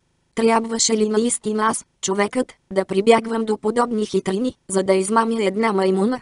Дали това поведение не беше под достоинството ми? Не трябваше ли да стана, да отида при животното и да го усмиря с тояга? Усилващият се грохот зад мен изби от главата ми това налудничаво желание. Ловът привършваше средатски грохот. Преследвачите бяха по петите ни. Пред очите ми един от тях изникна сред листака. Това бе огромна горила, която удряше на слуки с къса дебела тояга и крещеше колкото и глас държи. Стори ми се още по-ужасна от ловеца с пушката. Льовен целият се разтрепера и забите му затракаха, а пък аз отново погледнах пред себе си, изчаквайки удобен момент. Моят нещастен другар несъзнателно спаси живота ми със своето безразсъдство. Той напълно бе изгубил разума си. Изправи се непредпазливо и като се втурна на слуки, излезе на пътеката точно под прицела на ловеца. Не стигна далеч. Изстрелът сякаш го прекърши на две или овен се строполи, присъединявайки своя труп към останалите, които вече бяха осеяли земята. Нямах време да го оплаквам, пък и какво ли можех да сторя за него. Трескаво дебнех момента, в който горилата щеше да подаде пушката на своя слуга. Щом направи това движение, аз на свой ред скочих и пресякох пътеката. Като на съня видях как бърза да сграбчи оръжието, но преди да се прицели, аз вече бях на сигурно място. Чух възклицание, напомнящо ругътня, но не губих време за размисли върху тази нова чудатост. Бях го изиграл. Изпитах странна радост, която подействува като бълсам на накърненото ми честолюбие. Продължих да тичам с все сила, отдалечавайки се възможно най-бързо от мястото на тази сеч.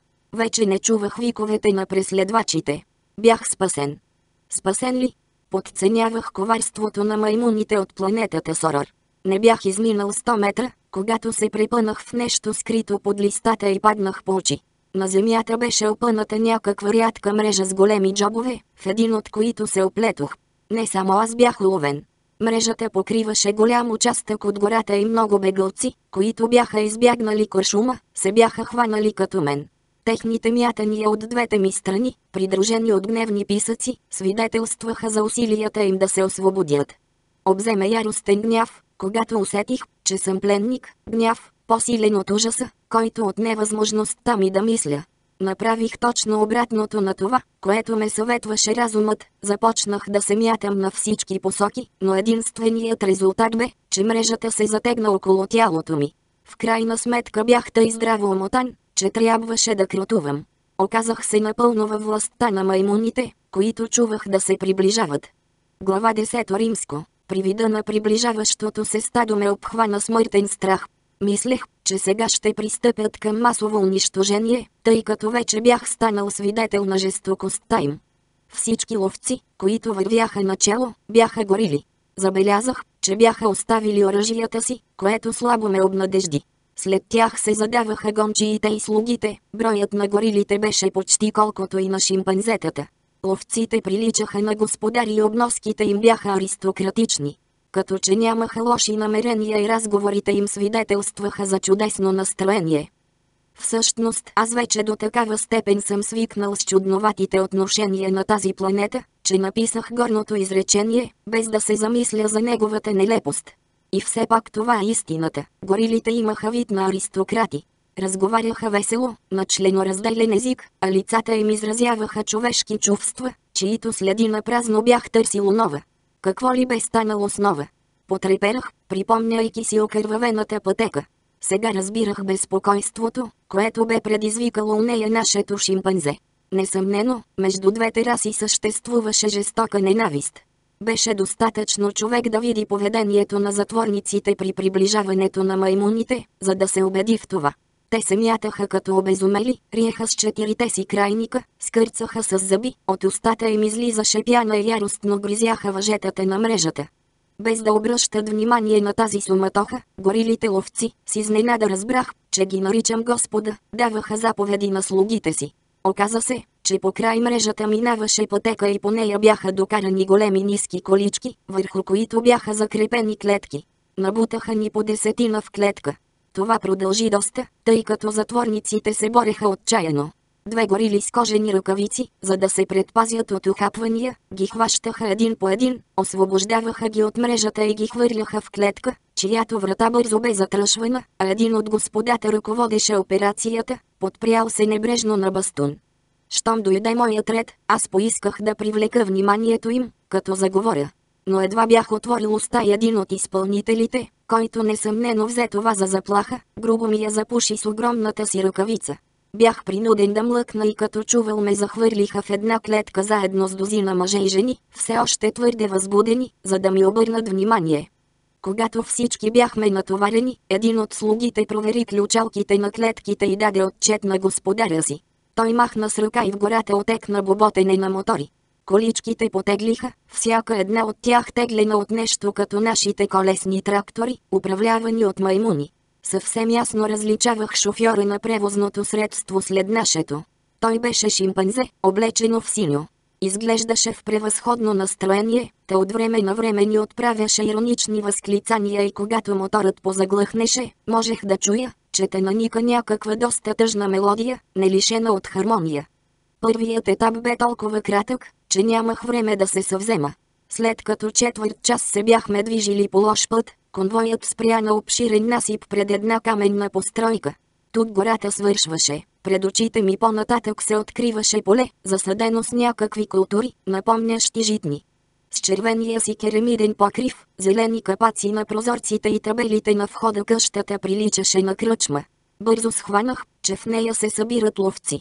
Слугите бяха дошли тук да дочакат господарите си, които с частните си коли пристигаха по друг път. Дамите горили бяха насядали в фотойли и бъбреха под сянката на големи дървета, подобни на палми. От време на време една от тях опитваше с сламка някакво питие. След като количките се наредиха, те се приближиха, любопитни да видят улова и преди всичко убитите, които горили, препасани с дълги престилки, извличаха от два големи камиона, за да ги изложат на показ под дърветата. Това беше една победоносна ловна картина. Маймуните работеха методично. Полагаха кървящите трупове по гръб, един до друг, в права линия. После, докато женските пискаха от възхищение, те се стараеха да направят така, че дивечът да изглежда по-привлекателен.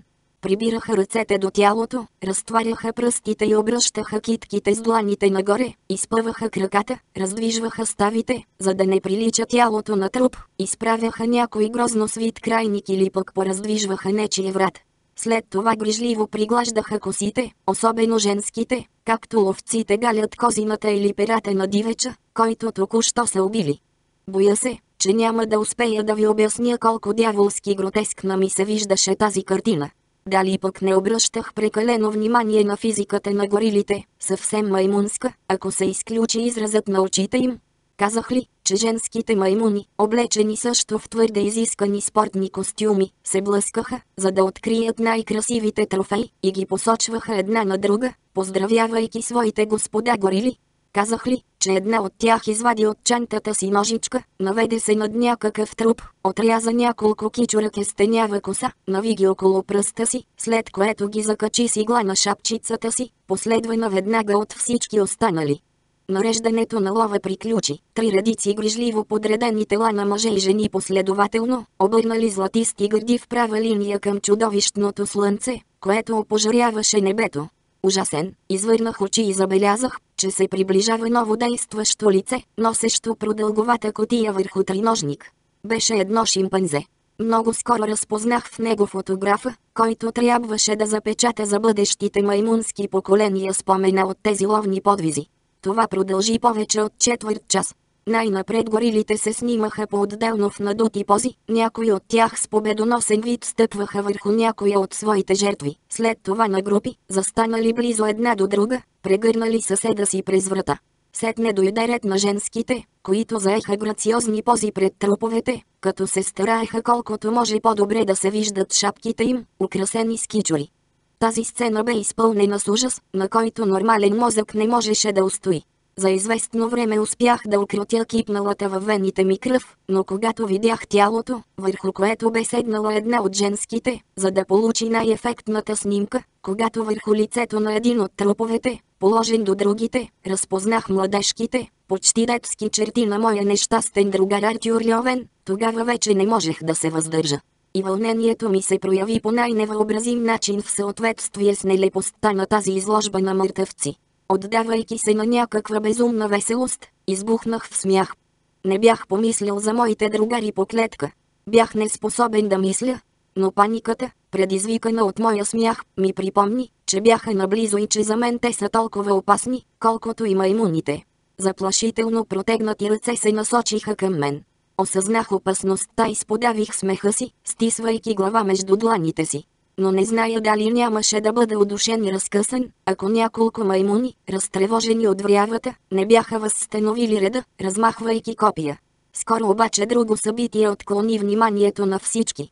От кръчмата се чу звънец, който оповестяваше часа на закуската. На малки групи горилите се отправиха към постройката с весело бъбрене, а фотографът, след като бе направил няколко снимки на нашите клетки, подреждаше принадлежностите си. Ние, хората, все пак не бяхме забравени. Не знаех каква съдба са ни отредили маймуните, но във всеки случай намеренията им включваха и грижите за нас.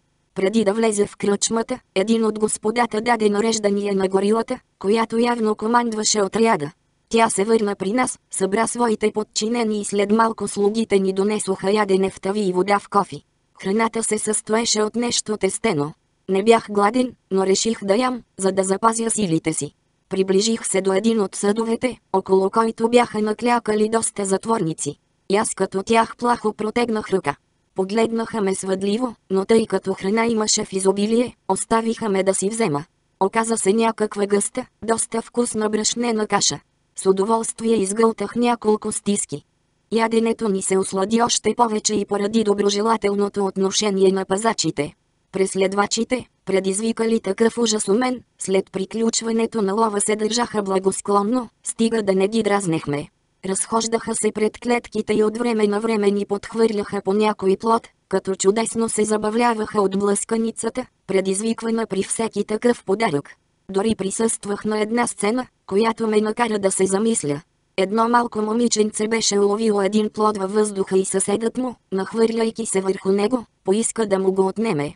Тогава маймуната размаха копието си, промуши го между решетките и грубо отблъсна мъжа, след което подаде втори плод в ръката на детето. Така аз разбрах, че тези същества са склонни към състрадание. След като се нахранихме, началникът на отряда и неговите подчинени се заеха да прехвърлят някои пленници от една клетка в друга.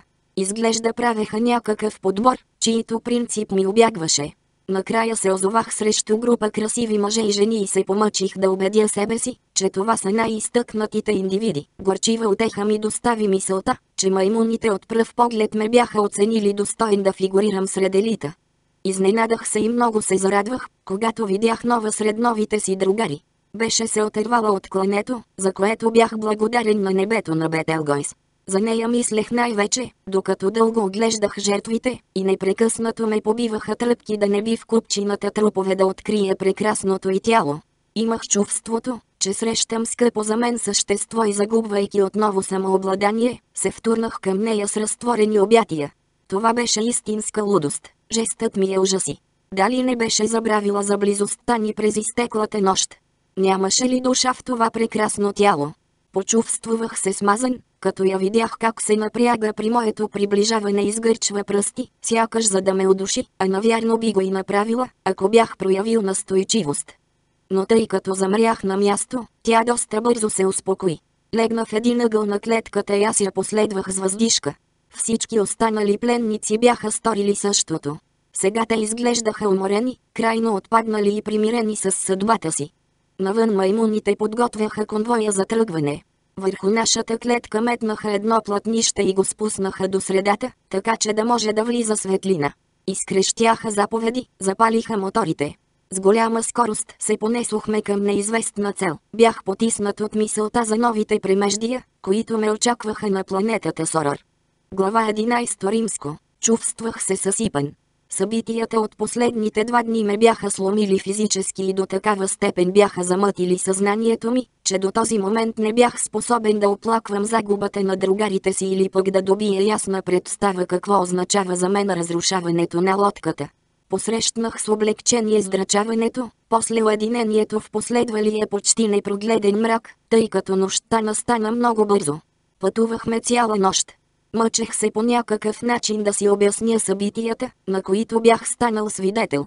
Имах нужда от тази интелектуална дейност, за да избягна дебнещото ме отчаяние, да си докажа, че съм човек, искам да кажа земен човек, мислещо същество, свикнало да търси логически обяснения за привидно необяснимите капризи на природата, а не звяр, подгонен от разумни маймуни. Мислено прехвърлих всичко, което бях видял и което се бе запечатало в паметта ми, често несъзнателно.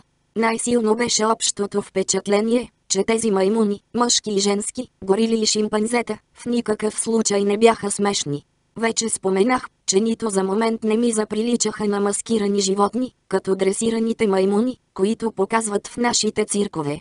На земята женската маймуна с шапка на главата за някой представлява весела, за мен, мъчителна гледка. Тук нямаше нищо подобно. Шапката и главата бяха в хармония, а маймуните се държаха съвсем естествено. Тази, която пиеше с сламка от чаша, имаше вид на дама. Спомних си също, че бях видял един от ловците да вади от джоба си лула, натъпка я методично и я запали. Е добре, нищо в това действие не бе ме подразнило, толкова привични бяха движенията му. Дълго обмислях случката и може би за пръв път след залавянето ми съжалих за отсъствието на професор Антел. Неговата мъдрост и знания несъмнено щяха да открият някакво обяснение за тези парадокси. Какво ли беше станало с него? Бях сигурен, че го няма сред убитите. Дали пък и той не бе попаднал в плен. Това беше възможно, не всички ги бях видял. Не смеех да се надявам, че е успял да остане на свобода. Опитах се с собствени сили да изградя хипотеза, която впрочем не ме удовлетвори кой знае колко. Обитателите на тази планета, чието градове бяхме видели, навярно бяха пришълци, които търпеливо и старателно са извършвали селекция на много поколения и в резултат бяха успели да дресират маймуните да се държат до известна степен като разумни същества. Нали и на Земята има шимпанзета, които достигат смайваща ловкост. Дори и фактът, че те могат да говорят, не беше до там очудващ, както си бях помислил. Спомних си, че с един специалист бяхме спорили на същата тема. Беше ми казал, че сериозни учени посвещавали част от живота си на опити да накарат маймуните да проговорят. Според тях, в устройството на тези животни нямало никаква пречка за това. До този момент усилията им оставали безрезултатни, но те се защищавали, твърдейки, че единствената причина за това била, че самите маймуни не искат да говорят. Но може би тези от Сорор все пак бяха пожелали. Това даваше възможност на предполагаемите обитатели на планетата да ги използват за черна работа, като например, лова, по време на който ме бяха заловили. Вкопчих се здраво за това обяснение, отхвърляйки с страх мисълта, че може да има и друго, може би по-просто. Така ми се струваше, че за моето спасение е крайно необходимо да съществуват истински разумни същества на тази планета, т. е. Хора като мен, с които можех да се разбера. Хора ли? Към каква раса тогава принадлежаха съществата, които маймуните убиваха и хващаха в плен? Изостанали племена ли бяха? При такова положение колко ли жестоки бяха господарите на тази планета, за да позволяват и може би да организират такива кланета? Някаква фигура, която пълзешком се приближаваше към мен, ме откъсна от тези мисли. Беше нова. Наоколо ми всички пленници бяха налягали на групи по пода. След известно колебание тя се сгуши до мен, както с нощи. Напразно се опитвах отново да открие в погледа и пламъчето, което би придало на постъпката и смисъл на приятелски порив. Тя обърна глава и скоро затвори очи. Независимо от това, самото и присъствие ме подкрепи и аз най-после съм заспал, притиснат до нея, опитвайки се да не мисля за утрешния ден. Глава 12 Римско. Инстинктът за самосъхранение ме предпази да се отдам на твърде тежките мисли и спах до сутринта. Все пак сънят ми бе прекъсван от трескави кошмари, в които тялото на нова ми заприличваше на змия, увита около мен. На сутринта отворих очи. Тя вече беше будна. Беше се поотдръпнала от мен и ме наблюдаваше с поглед, в който сякаш навеки бе застинало неразбиране. Нашата кола намали ход и видях, че навлизаме в някакъв град. Затворниците бяха станали и наклякали край решетките, гледаха изпод платнището нещо, което, изглежда, събуждаше вчерашната им тревога. И аз долепих лице до железните пръчки и за първи път видях цивилизовано селище на планетата Сорор. Движехме се по доста широка улица, с тротуари от двете страни. Смутено оглеждах пешеходците, бяха маймуни. Видях един продавач, нещо като бакалин, който току-що бе вдигнал рулетките на магазина си и любопитно се обърна, за да ни погледне, беше маймуна. Опитвах се да различа минувачите и шофьорите на автомобилите, които ни задминаваха, бяха облечени по нашата мода, но бяха маймуни. Надеждата ми да открия цивилизована човешка раса се превръщаше в химера и до края на пътуването преживявах мрачно отчаяние. Нашата кола още повече намали ход. Тогава забелязах, че през нощта колоната се е разпаднала и сега се състои само от две коли, а останалите, изглежда, бяха тръгнали в друга посока. Минахме през голяма врата и спряхме в един двор. Веднага бяхме наобиколени от маймуни, които се постараха с няколко удара с копията да укротят нарастващата възбуда сред затворниците. Дворът бе заобиколен от многоетажни сгради с редици еднакви прозорци. Впечатлението, че това е болница, бе затвърдено от появата на нови личности, които се приближаваха към нашите пазачи. Всички те бяха маймуни в бели престилки и бели шапки като на санитари. Всички бяха маймуни, горили и шимпанзета. Помогнаха на нашите пазачи да разтоварят колите. Един по един ни извлякоха от клетката, натикаха ни в грамадни чували и ни помъкнаха към вътрешността на зданието. Аз не оказах никаква съпротива и се оставих да бъда отнесен от две големи горили, облечени в бяло. В продължение на доста време ми се струваше, че се движим по дълги коридори и се изкачваме по стълби. Най-сетне безцеремонно ме тръснаха на пода, след което отвориха чувала и ме захвърлиха, този път сам, в друга клетка, закрепена неподвижно, постлана с нещо като сламеник. Една от горилите старателно заключи вратата. В залата, където се намирах, имаше множество клетки, подобни на моята, наредени в две редици от двете страни на дълга пътека. Повечето вече бяха заети, някои от моите другари по съдба, доведени току-що, а други, от мъже и жени, които, изглежда, отдавна бяха затворници. Те се отличаваха с известно примирение в държанието. Гледаха отчаяно новодошлите и едва-едва наостряха уши, когато някой от тях простенеше жаловито. Забелязах също, че новите бяха сложени като мен по-отделно, докато старите, общо взето, бяха събрани по двойки. Подадох нос между решетките и в края на коридора видях една по-голяма клетка, пълна с деца. Противно на възрастните, те изглеждаха твърде възбудени от пристигането на нашата група. Размахваха ръце, блъскаха се и се преструваха, че разклащат решетките, като едновременно с това надаваха къси писъци като младите свъдливи маймуни. Двете горили се върнаха с още един чувал. От него излезе моята приятелка Нова, която сложиха в отсрещната клетка, за мен това бе известна утеха. Тя се възпротиви на това действие по своя особен начин, опитвайки се да дращи и да хапе. След като затвориха вратичката, тя се хвърли към решетките, опита се да ги разклати, като скърцаше с зъби и издаваше такива крясъци, че да ти се пръсне сърцето. Минута по-късно нова ме забеляза, застана неподвижна и леко протегна врат като изненадано животно. Предпазливо и се усмихнах и леко и помахах с ръка. Тя неловко се опита да ме имитира и сърцето ми се изпълни с радост. Вниманието ми отново бе привлечено от завръщането на двете горили в бели престилки. Изглежда разтоварването бе приключило, защото те не носеха никакъв товар, а бутаха пред себе си количка, натоварена с храна и кофи вода, които разпределиха между затворниците, и това възвърна спокойствието сред тях. Скоро дойде моят ред. Докато едната горила стоеше на пост, другата влезе в клетката ми и постави пред мен глинена купа с каша, няколко плода и една кофа. Бях решил да направя всичко възможно, за да установя някакъв контакт с маймуните, които, изглежда, бяха единствените цивилизовани и разумни същества на тази планета. Тази, която ми носеше храната, изглеждаше добродушна. Понеже стоях спокоен, тя дори фамилиарно ме потупа по рамото. Погледнах я в очите, след което поставих ръка на гърдите си и вежливо се поклоних. Когато повдигнах глава, върху лицето на горилата прочетох смайване. Тогава и се усмихнах от все сърце. Вече се готвеше да излезе, но се спря объркана и възкликна. Най-сетне бях успял да ги накарам да ме забележат. В желанието да затвърдя успеха си, показвайки всичко на което съм способен, аз като някой глупак произнесох първото изречение, което ми мина през ума. Как сте? Аз съм човек от земята. Дълго пътувах. Смисълът не беше от значение.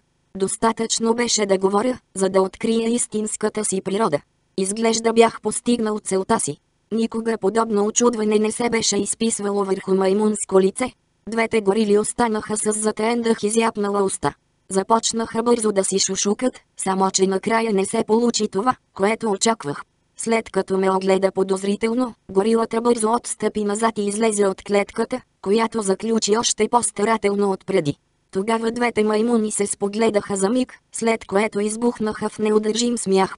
Навярно представлявах наистина уникално явление, защото те не преставаха да се веселят за моя сметка. Очите им се бяха насълзили и едната трябваше да сложи тенджерата на земята, за да извади носната си кърпа. Разочарованието ми бе толкова дълбоко, че изведнъж изпаднах в дива ярост. И аз започнах да разклащам решетките, да им се зъбя и да ги ругая на всички познати ми езици. Когато изчерпах репертуара си от псовни, продължих да издавам нечленоразделни крясъци, но те само повдигнаха рамене. Все пак бях успял да привлека вниманието върху себе си. Когато тръгнаха, те многократно се обръщаха, за да ме погледнат. Най-сетне с върховни усилия се бях успокоил и видях как едната горила извади от джоба си бележник и старателно преписа някакъв знак от табелката над моята врата, който според мен беше номер, и си отбеляза нещо. Отидоха си. Моето негодование за малко бе всяло смут, но сега останалите затворници започнаха отново да се хранят. На мен не ми оставаше нищо друго освен да ям и да си почивам в очакване на по-подходящ случай, за да открия благородната си същност. Изгълтах още една купа брашнена каша и няколко сочни плода. Отсреща нова от време на време преставаше да дъвче, за да ми хвърля бегли погледи. Глава 13 Римско През останалата част от деня ни оставиха на спокойствие. Вечерта горилите отново ни поднесоха ядене и се оттеглиха, като угасиха светлината. През нощта спах малко не защото клетката беше неудобна, сламеникът беше дебел и мек, а защото не преставах да обмислям по какъв начин да установя контакт с маймуните.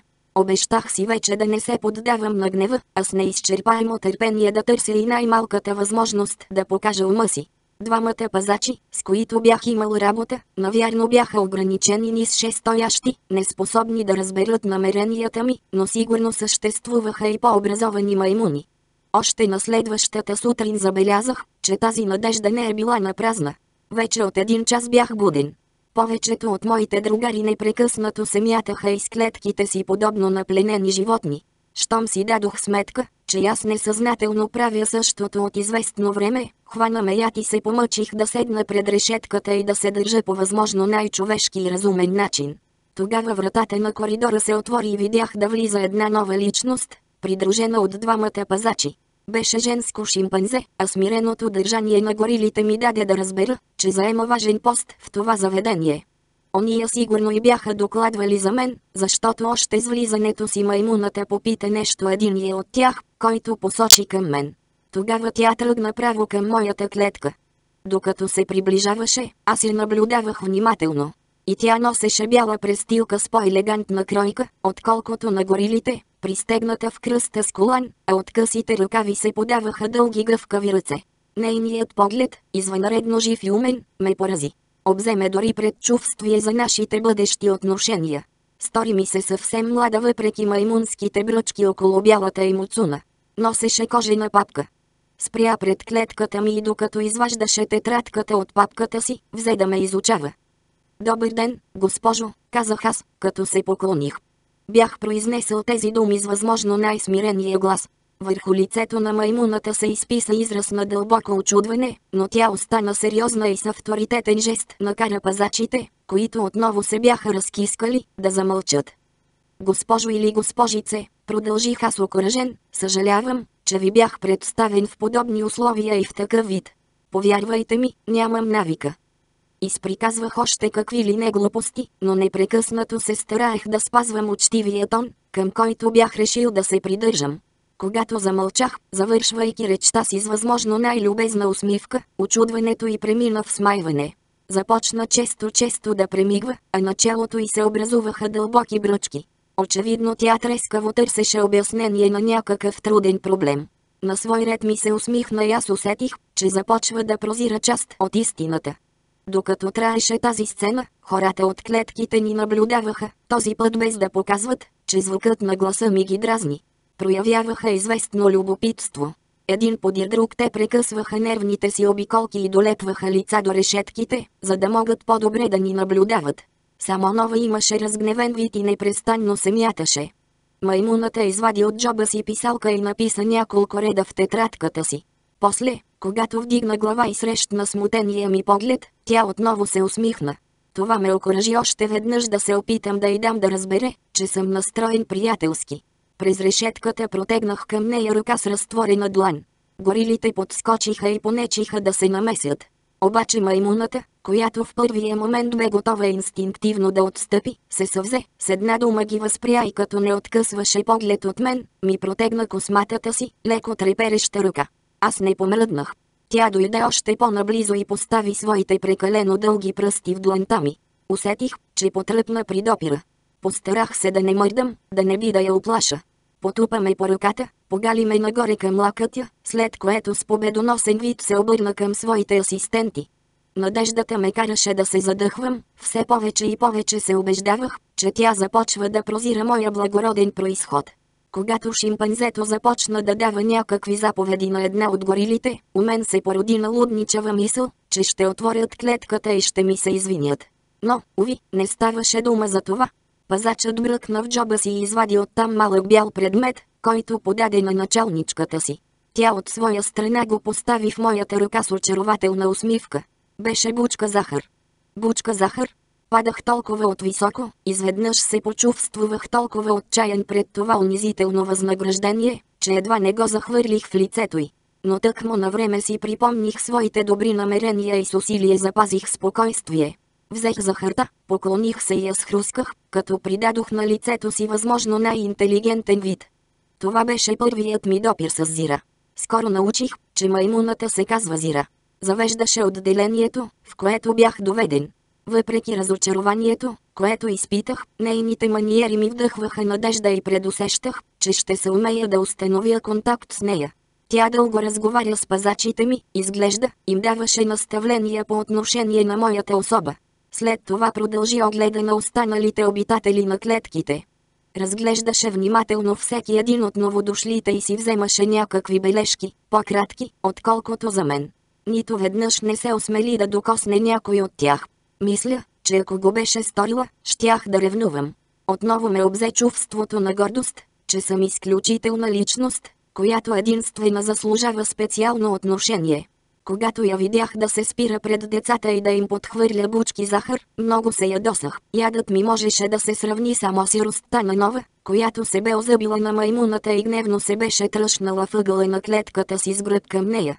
Глава 14 Римско. Вторият ден мина както и първият. Маймуните се занимаваха с нас само когато ни донасяха храна. Това странно заведение вече съвсем ме озадачаваше, когато на следващия ден ни зададоха серия тестове, които днес ми изглеждат обидни, но тогава до известна степен ме разсейваха. Първият от тях отначало ми се стори твърде особен. Единият пазач се приближи до мен, докато в същото време другарят му се зае с друга клетка. Моята горила държеше едната си ръка зад гърба, а в другата имаше свирка. Погледна ме, за да привлече вниманието ми, поднесе към устата си свирката, от която изтръгна низ пронизителни звуци, това в продължение на цяла минута. После извади другата си ръка и самодоволно ми показа един от онези банани, които възбуждаха апетита на хората от Сорор. Задържа плода пред мен, без да ме изпуска от поглед. Протегнах ръка, но не можах да достигна банана, а горилата не се приближаваше. Изглеждаше разочарована, сякаш бе очаквала друга реакция. След малко се умори да чака, скри отново плода и пак започна да свири. Бях изнервен, заинтригуван от тези превземки и тък му щях да изгубя търпение, когато маймуната наново размаха плода далеч от мен. Все пак успях да запазя спокойствие, тъй като тя придобиваше все по-очуден вид, и направих опит да разбера какво очаква от мен. Явно държанието ми не съответстваше на нормалното. Повтори същото 5-6 пъти, след което се отчая и мина към друга клетка. Стана ми съвсем ясно, че бях измамен, когато установих и следващият и последващият получаваха банана още при първия опит. Наблюдавах внимателно другата горила, която правеше същото на отсрещната редица. Беше стигнала до нова и не пропуснах нито една от реакциите й. Свирна и също като другата размаха един банан. Девойката мигом се развълнува, размърда челюстите си. Внезапно ми просветна. При вида на това лакомство от устата на нова, на лъчезарната нова, бяха потекли лиги, както на куче при вида на бучка захар. Горилата точно това очакваше, поне днес. Остави лакомството и премина към друга клетка. Разбрах, казвам ви, и доста се възгордях от това. На времето се интересувах от биология и трудовете на Павлов нямаха тайни за мен. Тук изучаваха рефлексите на хората, както Павлов ги беше изучавал при кучетата. Какъв глупак съм бил преди малко. Сега с моя разум и култура, не само схващах смисъла на този тест, но и предвиждах какви щяха да бъдат следващите. През идните дни маймуните сигурно щяха да действат последния начин – изсвирване, последвано от показване на апетитна храна, която да предизвика слюноотделяне обекта. След известно време само изсвирването трябваше да предизвика същия ефект. Хората, както се казва по-научному, щяха да придобият условни рефлекси. Поздравявах се за своята прозорливост, но не намирах покой, дето не я бях проявил. Понеже моята горила бе приключила обиколката си и отново минаваше покрай мен, аз как ли не се помъчих да привлека вниманието й. Удрях по решетките и така размахвах ръце, сочейки устата си, че тя благоволи да повтори опита. Тогава, още при първото изсвирване, преди да е размахала плода, аз започнах да отделям слюнки, яростно да отделям слюнки, бясно да отделям слюнки, да отделям слюнки аз, Юли Смеро. Сякаш животът ми зависеше от това, изпитвах огромно удоволствие да доказвам своята интелигентност. Той наистина като че ли съвсем се обърка, повика другаря си и също като предния ден дълго говори с него. Можех да следя елементарните разсъждения на тези глупаци. Ето един човек, който преди малко беше напълно лишен от рефлекси, но съвсем бързо придоби условни рефлекси, нещо, което при другите изисква много време и търпение. Съжалявах ги заради слабия им интелект, който им пречеше да схванат, че само разумът може да доведе до такъв неочакван успех. Бях сигурен, че Зираби се показала досетлива. Само че цялата ми мъдрост и прекомерно усърдие доведоха до резултат, различен от очаквания. Те се отдалечиха, без да ми дадат плода, който единият от тях изяде. Вече нямаше защо да ме възнаграждават, щом като търсената цел бе постигната. На следващия ден дойдоха с нови принадлежности. Едната горила носеше звънец, а другата буташе пред себе си количка, върху която бе закрепен апарат, подобен на магнет. Този път, просветен относно естеството на опитите, на които се готвеха да ни подложат, още преди да си бяха послужили с инструментите, разбрах за какво искаха да ги използват. Започнаха с съседа на нова, грамаден здравеняк с изключително кротък поглед, който се беше приближил до решетката и се беше вкопчил в железните пръчки. Сега всички правехме така при минаването на тъмничарите. Едната горила започна да размахва звънеца, който издаваше ниски звуци, а в това време другият включваше в клетката един шнур от магнета. След доста продължителен звън, вторият оператор завъртя манивелата на апарата. Човекът отскочи назад, надавайки жалостиви вопли. Многократно прилагаха тази манипулация върху един и същи човек, като му поднасяха плод, за да го примамят да се долепи до желязото. Целта, аз я знаех, бе да накарат хората да отскачат назад, щом чуят звънеца, още преди да е протекал ток още един условен рефлекс, но този ден това не бе постигнато, понеже психиката на човека не беше достатъчно развита, за да установи връзка между причина и следствие. Аз ги очаквах, подсмихвайки се вътрешно, нетърпелив да ги накарам да почувствуват разликата между инстинкт и разум. При първия звън бързо пуснах решетките и отстъпих към средата на клетката. В същото време ги гледах втренчено, върху лицето ми се появи насмешка. Горилите смръщиха вежди. Те вече въобще не се смееха на маниерите ми и за пръв път като че ли прозряха, че им се подигравам. Все пак, изглежда, щяха да се решат да повторят опита, ако в този момент вниманието им не бе отвлечено от пристигането на нови посетители. Глава 15 Римско Трима души вървяха по пътеката между клетките, зира, женското шимпанзе и две други маймуни, едната от които явно беше голям началник. Беше орангутен, първият от този вид, който виждах на планетата Сорор. Беше подребен от горилите и доста прегърбен. Ръцете му бяха много дълги, така че при ходене често се опираше на дланите си, нещо което другите маймуни правеха рядко. По този начин той създаваше у мен странното впечатление, че си помага с два бастуна. Главата му, потънала между раменете, беше обрасла с дълга рижа козина, върху лицето му бе застинало изражение на дълбоко мъдрен размисъл и той ми заприлича на стар, уважаван и внушителен жрец. Облеклото му, доста прашно, рязко се отличаваше от това на останалите. Дълъг черен редингот, украсен с червена звезда на ревера, и панталон на бели и черни раиета. След него вървеше малко женско шимпанзе, което носеше тежка чанта. Съдейки по държанието й, тя навярно му беше секретарка. Вече, мисля, не се очудвате, че непрекъснато обръщам внимание на особеностите в държанието и изражението на маймуните. Кълна се, че при вида на тази двойка всяко мислещо същество би си извадило заключението, че това е голям учен със своята скромна секретарка. Тяхното идване ми даде възможност още веднъж да установя, че при тези маймуни, изглежда, съществуваше определена иерархия. Зира засвидетелстваше явно уважение на големия началник. Щом го забелязаха, двете горили тръгнаха да го посрещнат и съвсем тихо го поздравиха. Орангутенът снисходително им махна с ръка. Тръгнаха направо към моята клетка. Нали бях най-интересният обект от групата. Посрещнах величието с най-дружелюбната си усмивка и му заговорих с развълнуван тон. Скъпи орангутане, казах аз. Толкова съм щастлив, че най-сетне се срещам с същество, от което се излъчва мъдрост и интелигентност. Сигурен съм, че ние с теб ще се разберем. Милият старец подскочи при звука на моя глас. Дълго се почесва за духото, а в това време подозрителният му поглед шареше из клетката, като че ли надушваше някаква измама. Тогава Зира взе думата, отвори тетрадката си и започна да чете бележките, които беше водила във връзка с мен. Опитваше се да убеди в нещо орангутена, но той явно не се поддаваше. Надменно произнесе две-три сентенции, на няколко пъти повдигна рамене, разтърси глава, после сложи ръце на гърба си и започна да се разхожда по пътеката, като често минаваше пред моята клетка и ми хвърляше твърде недоброжелателни погледи. Останалите маймуни очакваха неговите решения в почтително мълчание.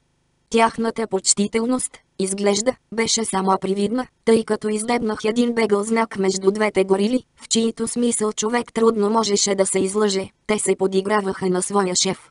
Това, прибавено към яда, който изпитвах заради отношението му към мен, ми внуши идеята да му разиграя малка сценка, която да го убеди в моя ум. Започнах да снова нагоре-надолу из клетката, имитирайки неговата походка, прегърбен, с ръце зад гърба, смръщил вежди, звит на дълбок размисъл. Горилите едва се въздържаха да не се разсмеят, а самата Зира не можа да остане сериозна. Колкото до секретарката, тя беше принудена да мушне муцуната си в чантата, за да прикрие своята веселост. Поздравих се заради демонстрацията си, но в следващия момент схванах, че това може да ми струва скъпо. Орангутенът много се ядоса, като забеляза моите гримаси и произнесе сухо няколко строги думи, които моментално възстановиха реда. Тогава той спря срещу мен и започна да диктува наблюденията си на своята секретарка. Бе изминало вече доста време, откак диктуваше, подчертавайки всяко изречение с високомерни жестове. Неговата непрозорливост започна да ми дотяга и реших да му дам още едно доказателство за моите възможности, като произнесох възможно най-добре. Мизайус. Бях забелязал, че всичките му подчинени се обръщаха към него с тези думи. Заюс, това разбрах в последствие, беше името на големеца, ами, почетна титла. Маймуните се стъписаха. Вече съвсем не им беше до смях, още по-малко пък на Зира, която ми се стори крайно объркана, особено когато я посочих с пръст и произнесох. Зира. Бях запомнил и тази дума, която можеше да бъде само нейното име. Зайус пък, ужасно изнервен, отново заснова по пътеката, поклащайки недоверчиво глава. Най-сетне се успокои и заповяда да повторят в негово присъствие тестовете, които ми задаваха от вчера. Аз се подчинявах с лекота. Още при първото изсвирване започнах да отделям слюнка. При извъняването отскочих назад. Накараме 10 пъти да повторя този опит, като през цялото време диктуваше на секретарката си безкрайни бележки. Накрая ме обзе вдъхновение. В момента, в който горилата размахваше звънеца, аз откачих клемата, която правеше контакт с решетката, и захвърлих шнура навън.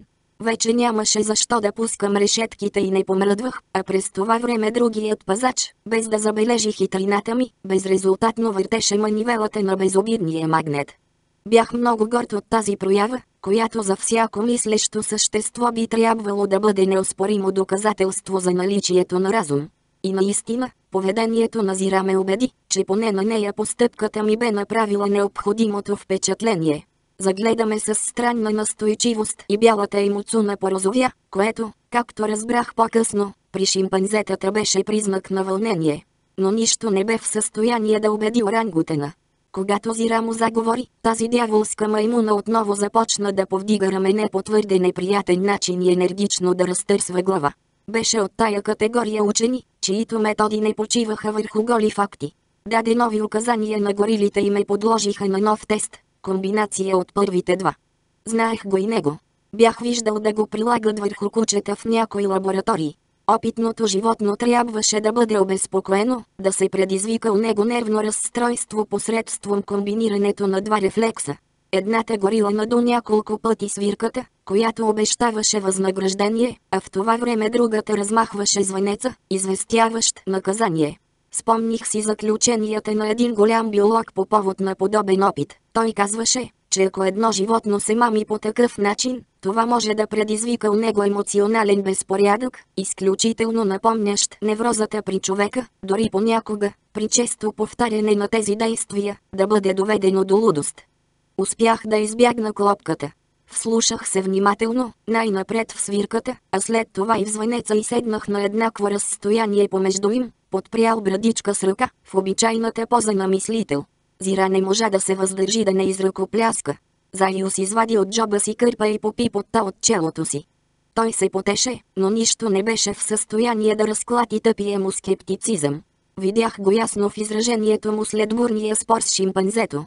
Продиктува още няколко бележки на секретарката си, даде подробни наставления на Зира, която ги изслуша без особено задоволство, и най-накрая си отиде, след като ми хвърли един последен осъдителен поглед. Зира каза нещо на горилите и аз бързо схванах, че им нареждаше да ме оставят на спокойствие, поне през останалата част от деня, защото те си отидоха, отнасяйки апаратурата си. След като останахме насаме, тя се върна при моята клетка и без да продума, в продължение на една дълга минута не откъсна очи от мен. След това приятелски ми протегна ръка. Аз я стиснах развълнуван, тихичко прошепвайки името й. Червенината, заляла нейната муцуна, ми показа, че беше дълбоко трогната. Глава 16 Римско. Заюз дойде след няколко дни и посещението му предизвика объркване на реда в залата. Но преди това трябва да разкажа как през това време се издигнах още повече в очите на маймуните. През деня след първата проверка на орангута върху нас се изсипа цяла лавина от тестове. Първият бе свързан с храненето. Вместо, както обикновено, да слагат яденето в клетките ни, Зорами за нам, двете горили, чието имена най-после бях научил, го вдигнаха в кошници на тавана с помощта на система от макари, с каквито бяха снабдени клетките. В същото време във всяка килия поставиха по четири доста обемисти дървени куба. След това се отдръпнаха и започнаха да ни наблюдават. Смаяното изражение на моите другари представляваше жалка картинка. Опитваха се да подскочат, но никой не можа да достигне кошницата. Някои се покатериха по решетките, чак до тавана, но колкото и да протягаха ръка, не можеха да достигнат храната, която се намираше далеч от стената. Срамувах се от глупостта на тези хора. Трябва ли да споменавам, че аз веднага намерих решението на задачата. Достатъчно беше да се наредят четирите куба един върху друг, да се качиш върху този куп и да откачиш кошницата. Така и направих, като се преструвах на разсеян, за да прикрия гордостта си. Не беше кой знае какво, но аз единствен се показах достатъчно съобразителен. Нескритото възхищение на зора ми за нам ми разтопи сърцето. Започнах да се храня, без да скривам презрението си към останалите затворници, които не можеха да последват примера ми дори след като бяха видели как трябва да се действува. През този ден Нова също не можа да повтори моята хитрина, която заради нея показах много пъти. Тя поне се опита, безспорно беше една от най-интелигентните в групата. Опита се да постави два куба един върху друг, само че ги сложи накриво, уплаши се, когато паднаха, и се скри въгъла. Това момиче, което притежаваше изключителна пъргавина и гъвкавост, чието движения бяха хармонични, ставаше необяснимо несръчно подобно на всички останали, наложеше ли се да си послужи с някой предмет. Все пак след два дни ти се научи да подрежда кубовете. Онази сутрин съжалих и подхвърлих през решетките два от най-хубавите плодове. Зира, която в този момент влизаше, ме погали заради жеста. Извих гърба си като котка под косматата ръка за голямо огорчение на нова, която изпадаше в ярост от тези прояви, тя моментално започна да се мята и да ръмжи. Отличих се и в много други изпитания, но главното бе, че слушайки внимателно, успях да запомня няколко прости думи от маймунския език и да разбера смисъла им. Произнасях ги, когато Зира минаваше по край моята клетка, а това все повече и повече я смайваше. Точно по това време Зайус отново дойде на проверка. И този път секретарката му вървеше след него, но сега го придружаваше и друг един орангутен, също толкова важен, който разговаряше с него като с равен. Предположих, че става дума за колега, повикан за консултация, тъй като представлявах объркан случай. Пред моята клетка започнаха продължителен спор с Зира, която се беше присъединила към тях. Тя говори дълго и разпалено. Знаех, че ме защищава, изтъквайки изключителната ми проницателност, която вече не можеше да бъде отречена. Единственият резултат от нейната намеса бе недоверчивата усмивка върху лицата на двамата учени. В присъствието на госта отново ме подложиха на тестовете, с които така блестящо се бях справил. Последният се състоеше в отваряне на котия, заключена по 9 различни начина – катинар, резе, ключ, райберита. На. На земята, мисля, Кинаман бе измислил подобен апарат за преценка на умствените способности на маймуните. Тази задача беше най-сложната и само някои бяха успели да я разрешат. Изглежда, тук правеха същото с хората. След няколко опита аз се справих с чест.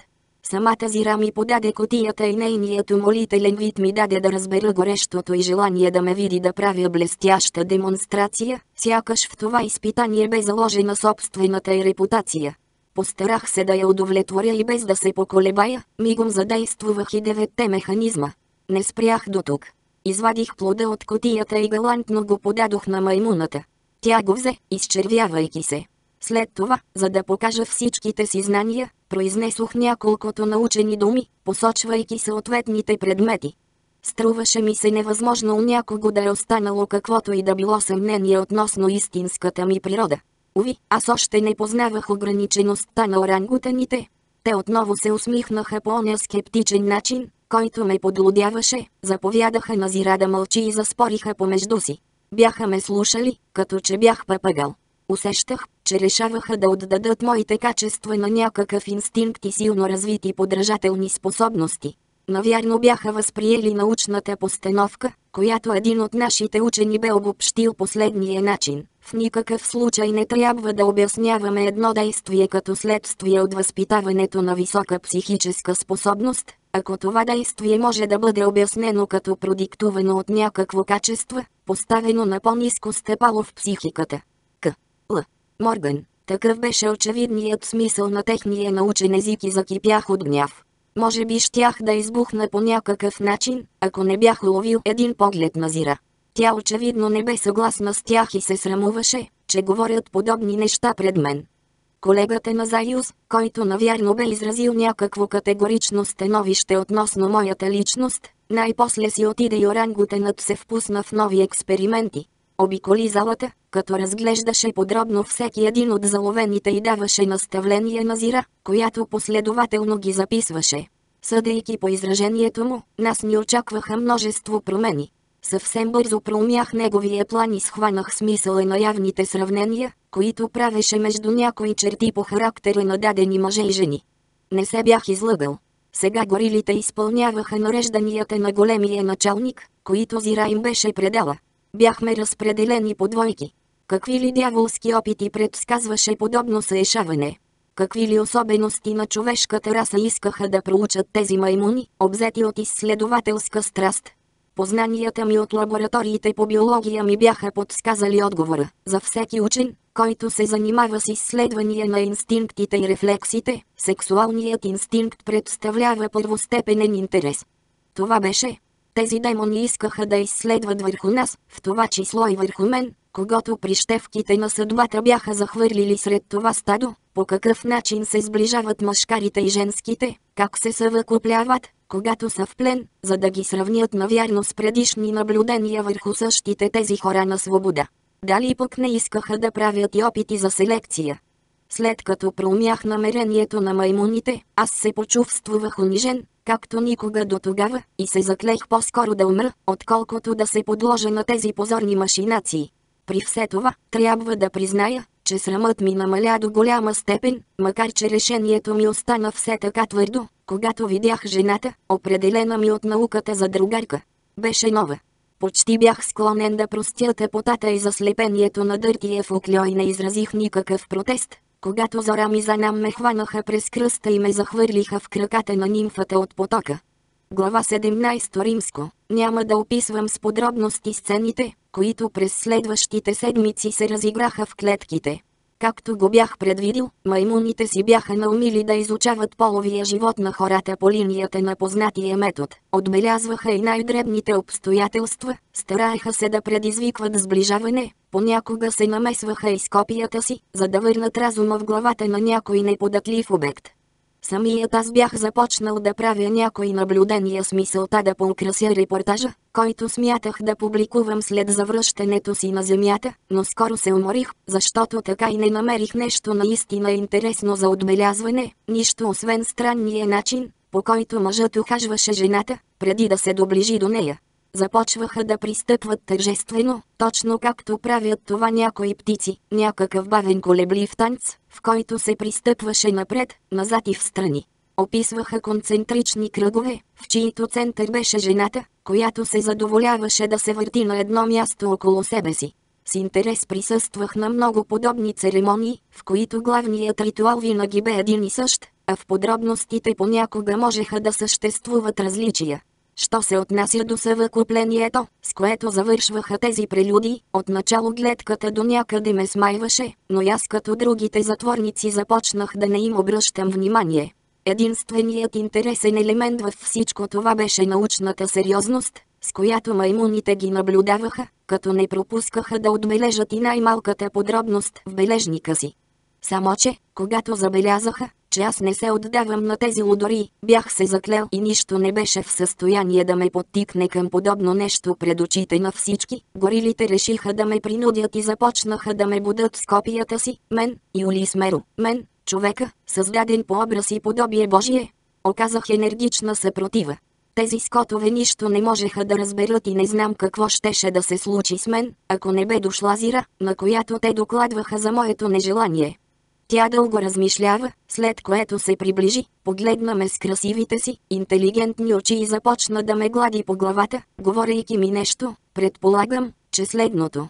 Нещастно човече, сякаш казваше тя. Колко си странен. Никога никой не е виждал подобно държание от човека. Погледни другите около себе си. Прави това, което се иска от тебе, и ще бъдеш възнаграден. Тя извади от джоба си бучка захар и ми я подаде. Бях отчаян. Значи и тя ме смяташе за животно, може би малко по-интелигентно от другите. Яростно разтърсих глава и отидох да легна въгъла на клетката, далеч от нова, която ме гледаше с недоумение. Работата несъмнено щеше да свърши до тук, ако в този момент не се беше появил старият Заюз, по-надменен от всякога. Беше дошъл да види резултата от своите опити и както обикновено, най-напред се осведоми за мен. Зира бе принудена да му разкаже за моето упорство. Това много го ядоса и в продължение на една минута орангутенът се разхожда с ръце на гърба, след което с повелителен тон даде заповеди. Зора ми за нам отвориха моята клетка, отнеха ми нова и на нейно място доведоха една зряла матрона. Този глупак Заюс, чиято глава бе претъпкана с научни методи, бе решил да повтори опита с друг обект. Но това не беше най-лошото и аз престанах да се замислям за тъжната си съдба, когато с разтревожен поглед проследих моята приятелка Нова. С ужас видях как я затварят в отсрещната клетка при един широкоплещест мъж, истински колос с космати гърди, който моментално пламенно затанцува в кръг около нея любопитния любовен танц, който вече описах. Веднага щом забелязах обиколките на този скот, забравих за мъдрите си решения. Загубих разсъдък и отново започнах да се държа като обезумял. Наистина съвсем бях полудял от ярост. Аз виках, врещях като хората от Сорор. Като тях изразявах гнева си, хвърляйки се по решетките, захапвах ги, олигавих ги, скърцах с зъби, с една дума, държах се възможно по най-животинския начин. Но най-изненадващото в цялата работа се оказа неочакваният резултат. Като ме видя да действам по такъв начин, Зайус се усмихна. За пръв път ми засвидетелстваше известна доброжелателност. Най-сетне бях проявил човешко държание и той бе стъпил върху познат терен. Неговата теза тържествуваше. Намираше се в такова благоразположение, че изпълни молбата на Зира да се откаже от своите заповеди и да ми даде последна възможност. Отведоха отвратителната матрона и ми върнаха нова, преди онова животно да я беше докоснало. Тогава маймуните се оттеглиха, но започнаха да ме дебнат от известно разстояние. Какво още да добавя? Тези вълнения бяха прекършили съпротивителните ми сили. Усещах, че няма да понеса да видя моята нимфа в ръцете на друг мъж. Подло се примирих с победата на орангутена, който сега се смееше доволен от своето лукавство. Плахо направих една танцова стъпка. Да, аз, най-висшето от всички създания, започнах да кръжа около моята хубавица. Аз, върхът на хилядолетна еволюция, аз, Юли Смеро, подобно на Паун започнах любовен танц около прелестната нова, пред всичките тези маймуни, които жадно ме наблюдаваха, пред един стар орангутен, който диктуваше бележки на своята секретарка, пред едно женско шимпанзе, което благосклонно се усмихваше, пред две кискащи се горили, аз, човекът, търсещ извинение в изключителните космически обстоятелства, убеден в този момент, че на планетите и в небето съществуват повече неща, отколкото някога са си представяли хората философи. Втора част. Глава първо римско. Сега трябва да си призная, че с забележителна лекота се приспособих към условията на живот в клетката. От материална гледна точка живеех в пълно блаженство. Денем маймуните се грижеха за мен, а през нощта споделях постелята с едно от най-красивите момичета в космоса. Толкова добре се приспособих към това положение, че престанах да усещам колко нелепо и позорно е то, и в течение на повече от месец не направих никакъв сериозен опит да го прекратя. Успях да науча само няколко нови думи от маймунския език.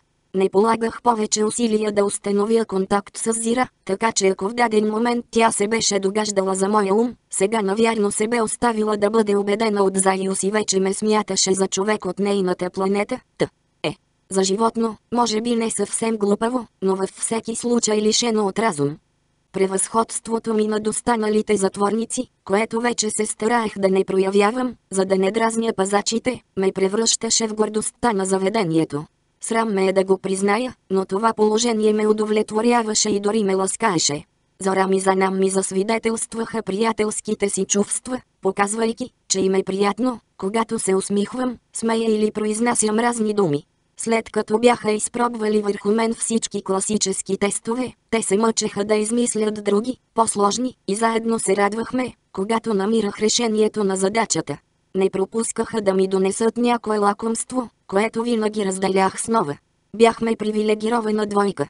Обзет от глупаво самодоволство, аз си мислех, че моята другарка разбира, че всичко дължи на моите способности и част от времето прекарвах да важнича пред нея.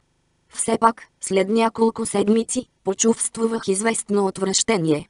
Блясъкът в очите на нова ли през тази нощ ми се беше сторил особено неизразителен. Или пък бучката захар, с която Зира ме възнаграждаваше, неочаквано ми беше загорчала. Но позорното ми примирение ме накара да се изчервя. Какво ли би помислил за мен професор Антел, ако по някаква случайност беше жив и ме намереше в това състояние? Скоро тази мисъл стана непоносима за мен и реших да се държа като цивилизован човек. Докато галех ръката на в израз на благодарност, взех бележника и писалката й. Не се побоях от нежните й упреци и като седнах върху сламата, започнах да скицирам силуета на нова. Аз съм доста добър художник и тъй като моделът ме вдъхновяваше, успях да направя прилична скица, която подадох на маймуната. Това веднага я развълнува отново и събуди съмненията й относно моята личност. Муцуната й почервеня и тя се втренчи в мен, леко потръпвайки. Възползвайки се от нейното объркване, аз отново авторитетно протегнах ръка към бележника и този път тя ми го подаде, без да протестира. Как по-рано не се бях възползвал от този прост начин. Съсредоточавайки спомените си от училище, начертах геометричната фигура, която иллюстрира Питагоровата теорема. Не случайно избрах нея. Спомнях си, че като малък бях чел в една научно-фантастична книга как един стар учен бе използвал този метод, за да установи контакт с разумни същества от друг свят. Дори по време на пътуването бях говорил за това с професор Антел и той показа положително отношение към този метод. Даже бе добавил, прекрасно си спомням, че на него дължала своята универсалност и евклидовата геометрия, въпреки че е съвсем погрешна. Във всеки случай рисунката ми оказа върху зира необикновен ефект. Муцуната й стана кърваво-червена и тя силно възкликна. Успя да се съвземе чак когато дойдоха зора ми за нам, озадачени от поведението й. Тя реагира по начин, който ми се стори доста странен. Бегло ме погледна и грижливо прибра рисунките ми. Каза нещо на горилите, които излязоха от залата, и аз разбрах, че тя ги отдалечаваше под някакъв претекст. После се обърна към мен и ми стисна ръката. Пръстите изразяваха нещо съвсем различно, отколкото преди, когато ме галеше като младо животно, показало ловкост. Накрая ми подаде бележника и писалката с умолителен вид. Сега тя беше тази, която се стремеше да установи контакт. Благодарих на Питагор и отидох малко по-нататък в геометрията. Върху една страница от бележника начертах колкото можах по-добре елипса, парабола и хипербола с осите и директирисите им. След това на другата страница начертах един конус. Искам да припомня, че подобно тяло, пресечено от равнина, образува една от трите криви в зависимост от ъгъла на напречния разрез. Фигурата, която направих, беше елипса, а на първия си чертеж посочих съответстващата крива на смаяната маймуна. Зира изтръгна бележника от ръцете ми, на свой ред очерта още един конус, пресечен от равнина под различен ъгъл, и с дългия си пръст ми посочи хиперболата.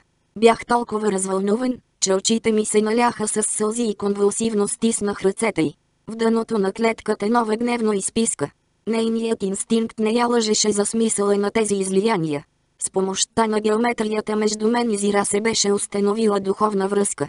Изпитвах почти чувствено задоволство, а в същото време чувствах, че и маймуната бе дълбоко развълнувана. Тя рязко изтръгна ръката си и тичешком излезе от залата. Отсъствието и не продължи дълго, но през това време аз бях като замаян и не се решавах да погледна нова, пред която се чувствах почти виновен и която се въртеше около мен с ръмжене.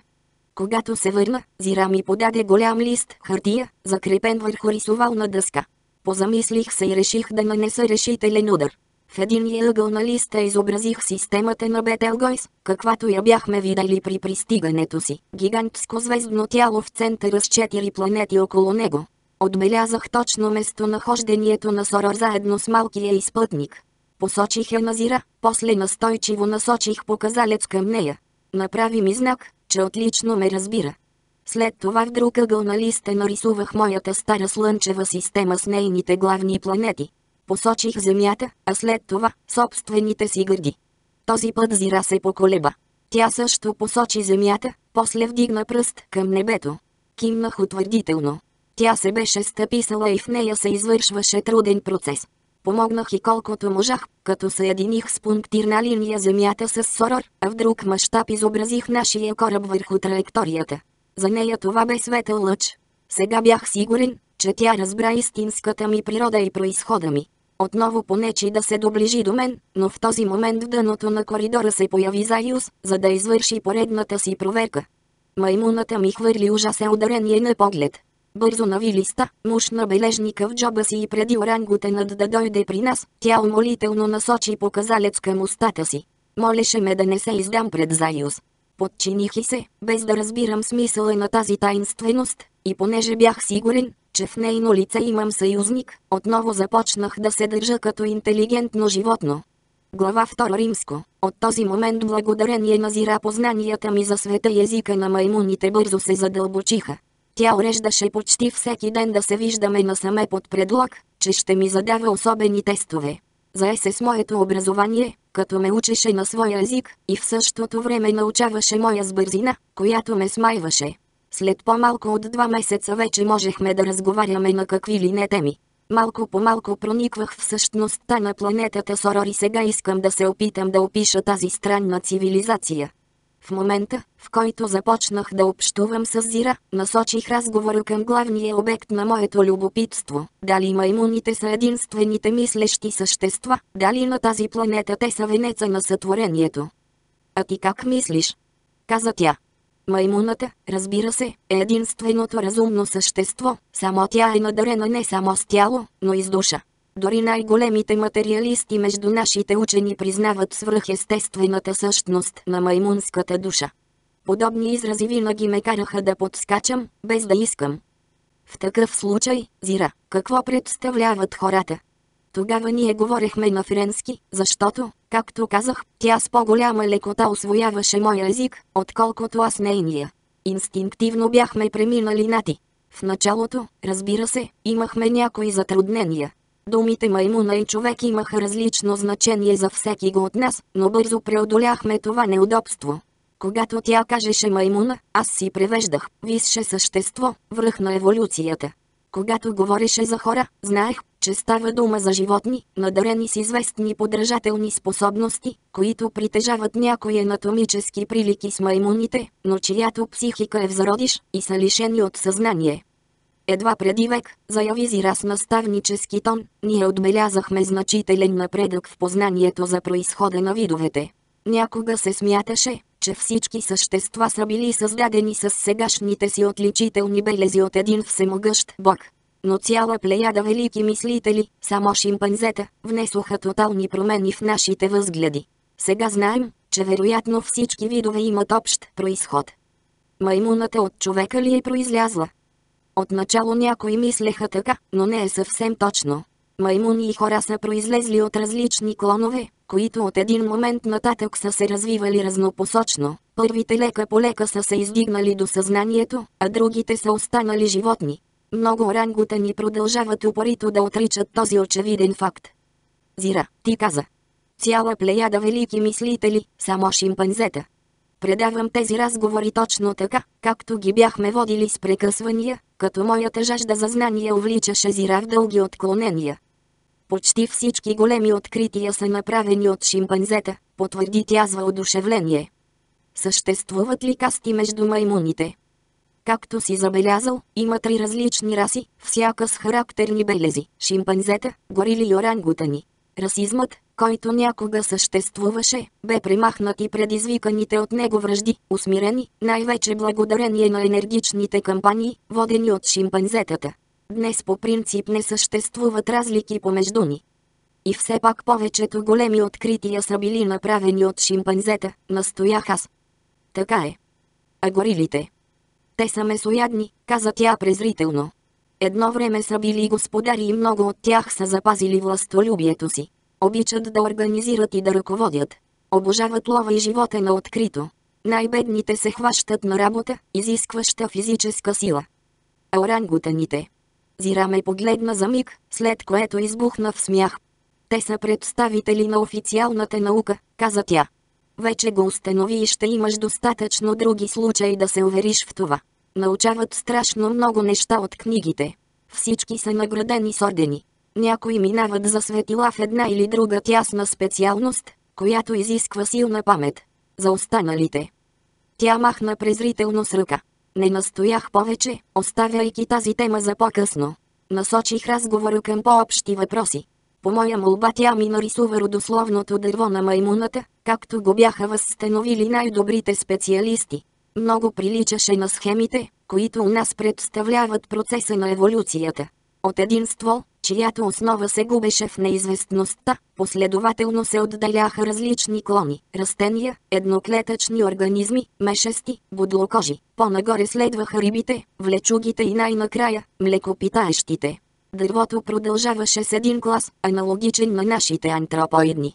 От него излизаше клонът на човека, той бе къс, докато главният ствол продължаваше нагоре и от него произлизаха различни видове праисторически маймуни с непонятни названия, за да свърши накрая с Симиус Сапиенс звезда, което представляваше крайните три върха на еволюцията – шимпанзето, горилата и орангутенът. Всичко беше съвсем ясно. Звезда разумни маймуни лад. Б. Пере, Мозъкът на маймуната, заключи Зира, се е развил, той е сложен и организиран, докато този на човека не е претърпял никакви изменения. Но защо маймунският мозък се е развил точно по този начин? Явно главна роля е изиграл езикът. Но защо маймуните са проговорили, а хората не? По тази точка учените били на различни мнения. Някои виждали в това таинствена божествена намеса, Други поддържали становището, че разумът на маймуната се дължи главно на ловкостта на четирите и крайника. Само с две ръце скъси и неловки пръсти, каза Зира, навярно човекът от самото начало е бил поставен в неизгодно положение, неспособен да се развива и да придобива точно познание за света. По тази причина той никога не е могъл да си послужи умело с някакво ръдие. О, възможно е да е правил жалки опити, някога. Намерени са любопитни останки, точно сега се правят много проучвания в това направление. Ако тези въпроси те интересуват, някой ден ще те запозная с Корнелиус. Той е много по-подготвен от мен и ще може да ти обясни всичко. Корнелиус. Моят годеник, каза Зира, като се изчерви. Много голям, истински учен. Шимпанзе ли е? Разбира се. Да, заключи тя, аз съм на мнение, че фактът, че имаме четири ръце, е изиграл решаваща роля за нашето умствено развитие. Това ни е помогнало най-напред да се покатерим на дърветата и така да възприемем трите измерения на пространството, докато човекът, прикован на земята поради физическо несъвършенство, е затъпявал на равното. После у нас е възникнала необходимостта от орадията, тъй като сме могли умело да си служим с тях. Започнали сме да ги използваме и така сме достигнали до мъдростта. На Земята често бях чувал да се прибягва до противоположни аргументи, за да се обясни превъзходството на човека. При все това, след като помислих, разсъжденията на Зира не ми се сториха нито повече, нито по-малко убедителни от нашите. Много ми се искаше да продължим този разговор, имах още хиляди въпроси, но бяхме прекъснати от зора ми за нам, които носеха вечерята. Зира с Кришом ми пожела лека нощ и си отиде. Останах в клетката насаме с нова. Бяхме се нахранили. Горилите си отидоха, след като угасиха лампите. Оставиха да свети само една слаба кружка над вратата. Гледах нова и размишлявах върху наученото през деня. Тя явно не обичаше Зира и тези разговори я дразнеха. Още от начало бе възнегодувала по нейния си начин и се беше опитала да ме откъсне от маймуната, като подскачаше из клетката, изтръгваше стиски слама и ги захвърляше по главата на натрапницата. Наложи се да използвам сила, за да я усмиря. След като получи няколко звучни плесници по нежния си задник, тя най-сетне се успокои. Бях извършил тази грубост почти несъзнателно и после изпитвах огризения, но тя, изглежда, не ми се сърдеше. Бях се напрягал, за да разбера теориите за еволюцията на маймуните, и сега се чувствах потиснат.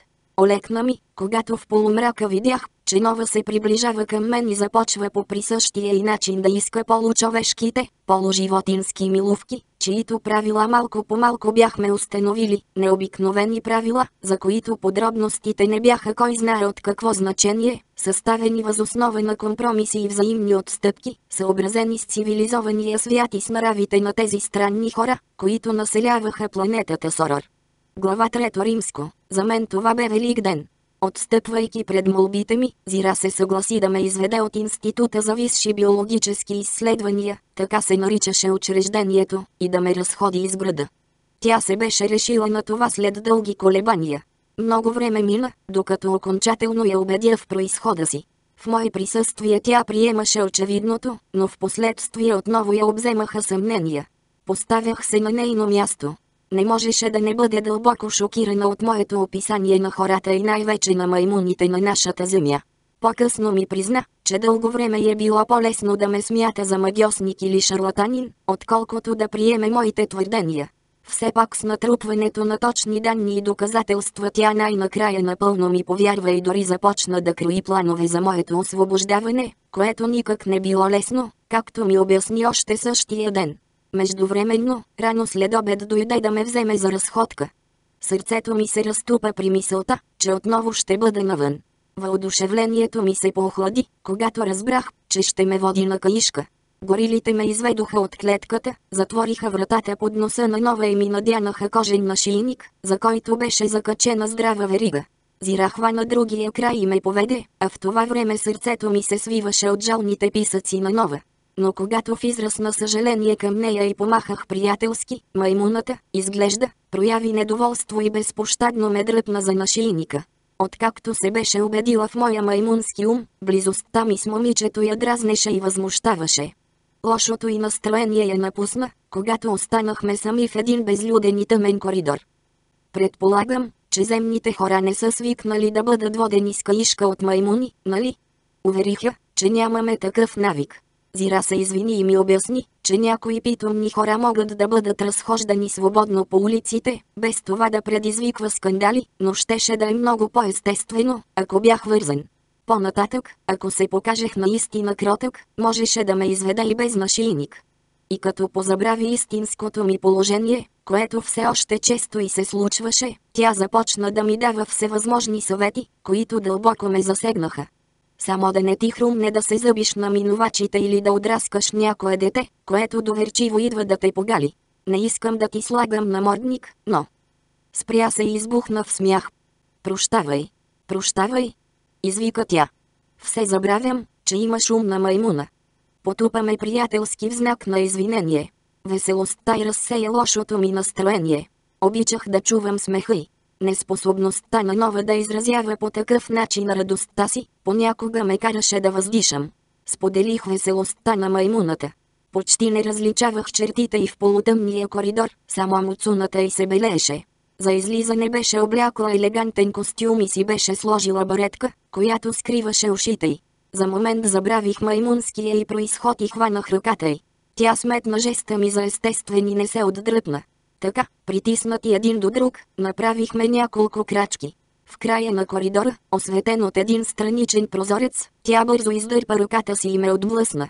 Възвърнала сериозния си вид, дръпна синджира. Не трябва да се държиш така, каза тя малко подтисната. Първо, аз съм сгодена, а освен това. Сгодена ли си? Едновременно забелязахме, че между тази забележка и фамилиарното ми държание нямаше връзка. Тя се овладя, изчервявайки се. Искам да кажа, че все още никой не трябва да подозира истинската ти природа. В твой интерес е, уверявам те. Примирих се и покорно се оставих да бъда воден. Излязохме. Портиерът на института, грамадна горила в униформа, ни пусна да минем, поздравизира, а мен ме огледа любопитно. Навън аз позалитнах, зашеметен от движението и заслепен от силната светлина на Бетелгойс. Повече от три месеца бях прекарал затворен. С пълни гърди вдишвах хладния въздух и същевременно се изчервявах заради голотата си. В клетката си бях свикнал с нея, но тук се чувствах смешен и безсрамен под погледите на минувачите маймуни, които упорито ме разглеждаха. Зира категорично бе отказала да ме облече, като твърдеше, че облечен съм щял да бъда още по-смешен и да приличам на някой от онези дресирани хора, които показват по панаирите. Тя несъмнено имаше право. Ако минувачите се обръщаха, то всъщност беше не защото бях гол, а защото бях човек, порода, която предизвикваше по улиците същото любопитство, каквото във всеки френски град би предизвикала появата на някое шимпанзе. Възрастните се засмиваха и продължаваха пътя си. Няколко деца маймуни се струпаха около мен, възхитени от гледката. Зира бързо ме завлече до колата си, настани ме на задната седалка, седна зад волана и бавно потегли по улиците. Градът бе столица на важна област в маймунската държава. Бях го зърнал за малко при пристигането си и сега отново трябваше да свиквам, че е населен с маймуни пешеходци, маймуни автомобилисти, маймуни търговци, с забързани маймуни и униформени маймуни, надзираващи поддържането на реда. Иначе не ми направи особено впечатление. Къщите приличаха на нашите, улиците, както и у нас, бяха доста мръсни. Нямаше такова голямо движение като у нас. Най-много ме очуди начинът, по който пешеходците пресичаха. Нямаше пешеходни пътеки, а въздушни пътища от едра телена мрежа, за която те се улавяха с четирите си ръце, облечени в меки кожени ръкавици, които не им пречеха да се хващат. Когато ме разходи достатъчно, за да добие обща представа за града, Зира спря колата си пред висока телена ограда, зад която се виждаха цветни лехи. Това е паркът, каза ми тя. Ще можем малко да повървим. Бих искала да ти покажа други неща, нашите забележителни музеи например, само че това все още е невъзможно. Увериха, че много се радвам, дето ще мога да се разтъпча. Затова пък, добави тя, тук ще бъдем на спокойствие. Има малко хора, а вече трябва да поговорим сериозно.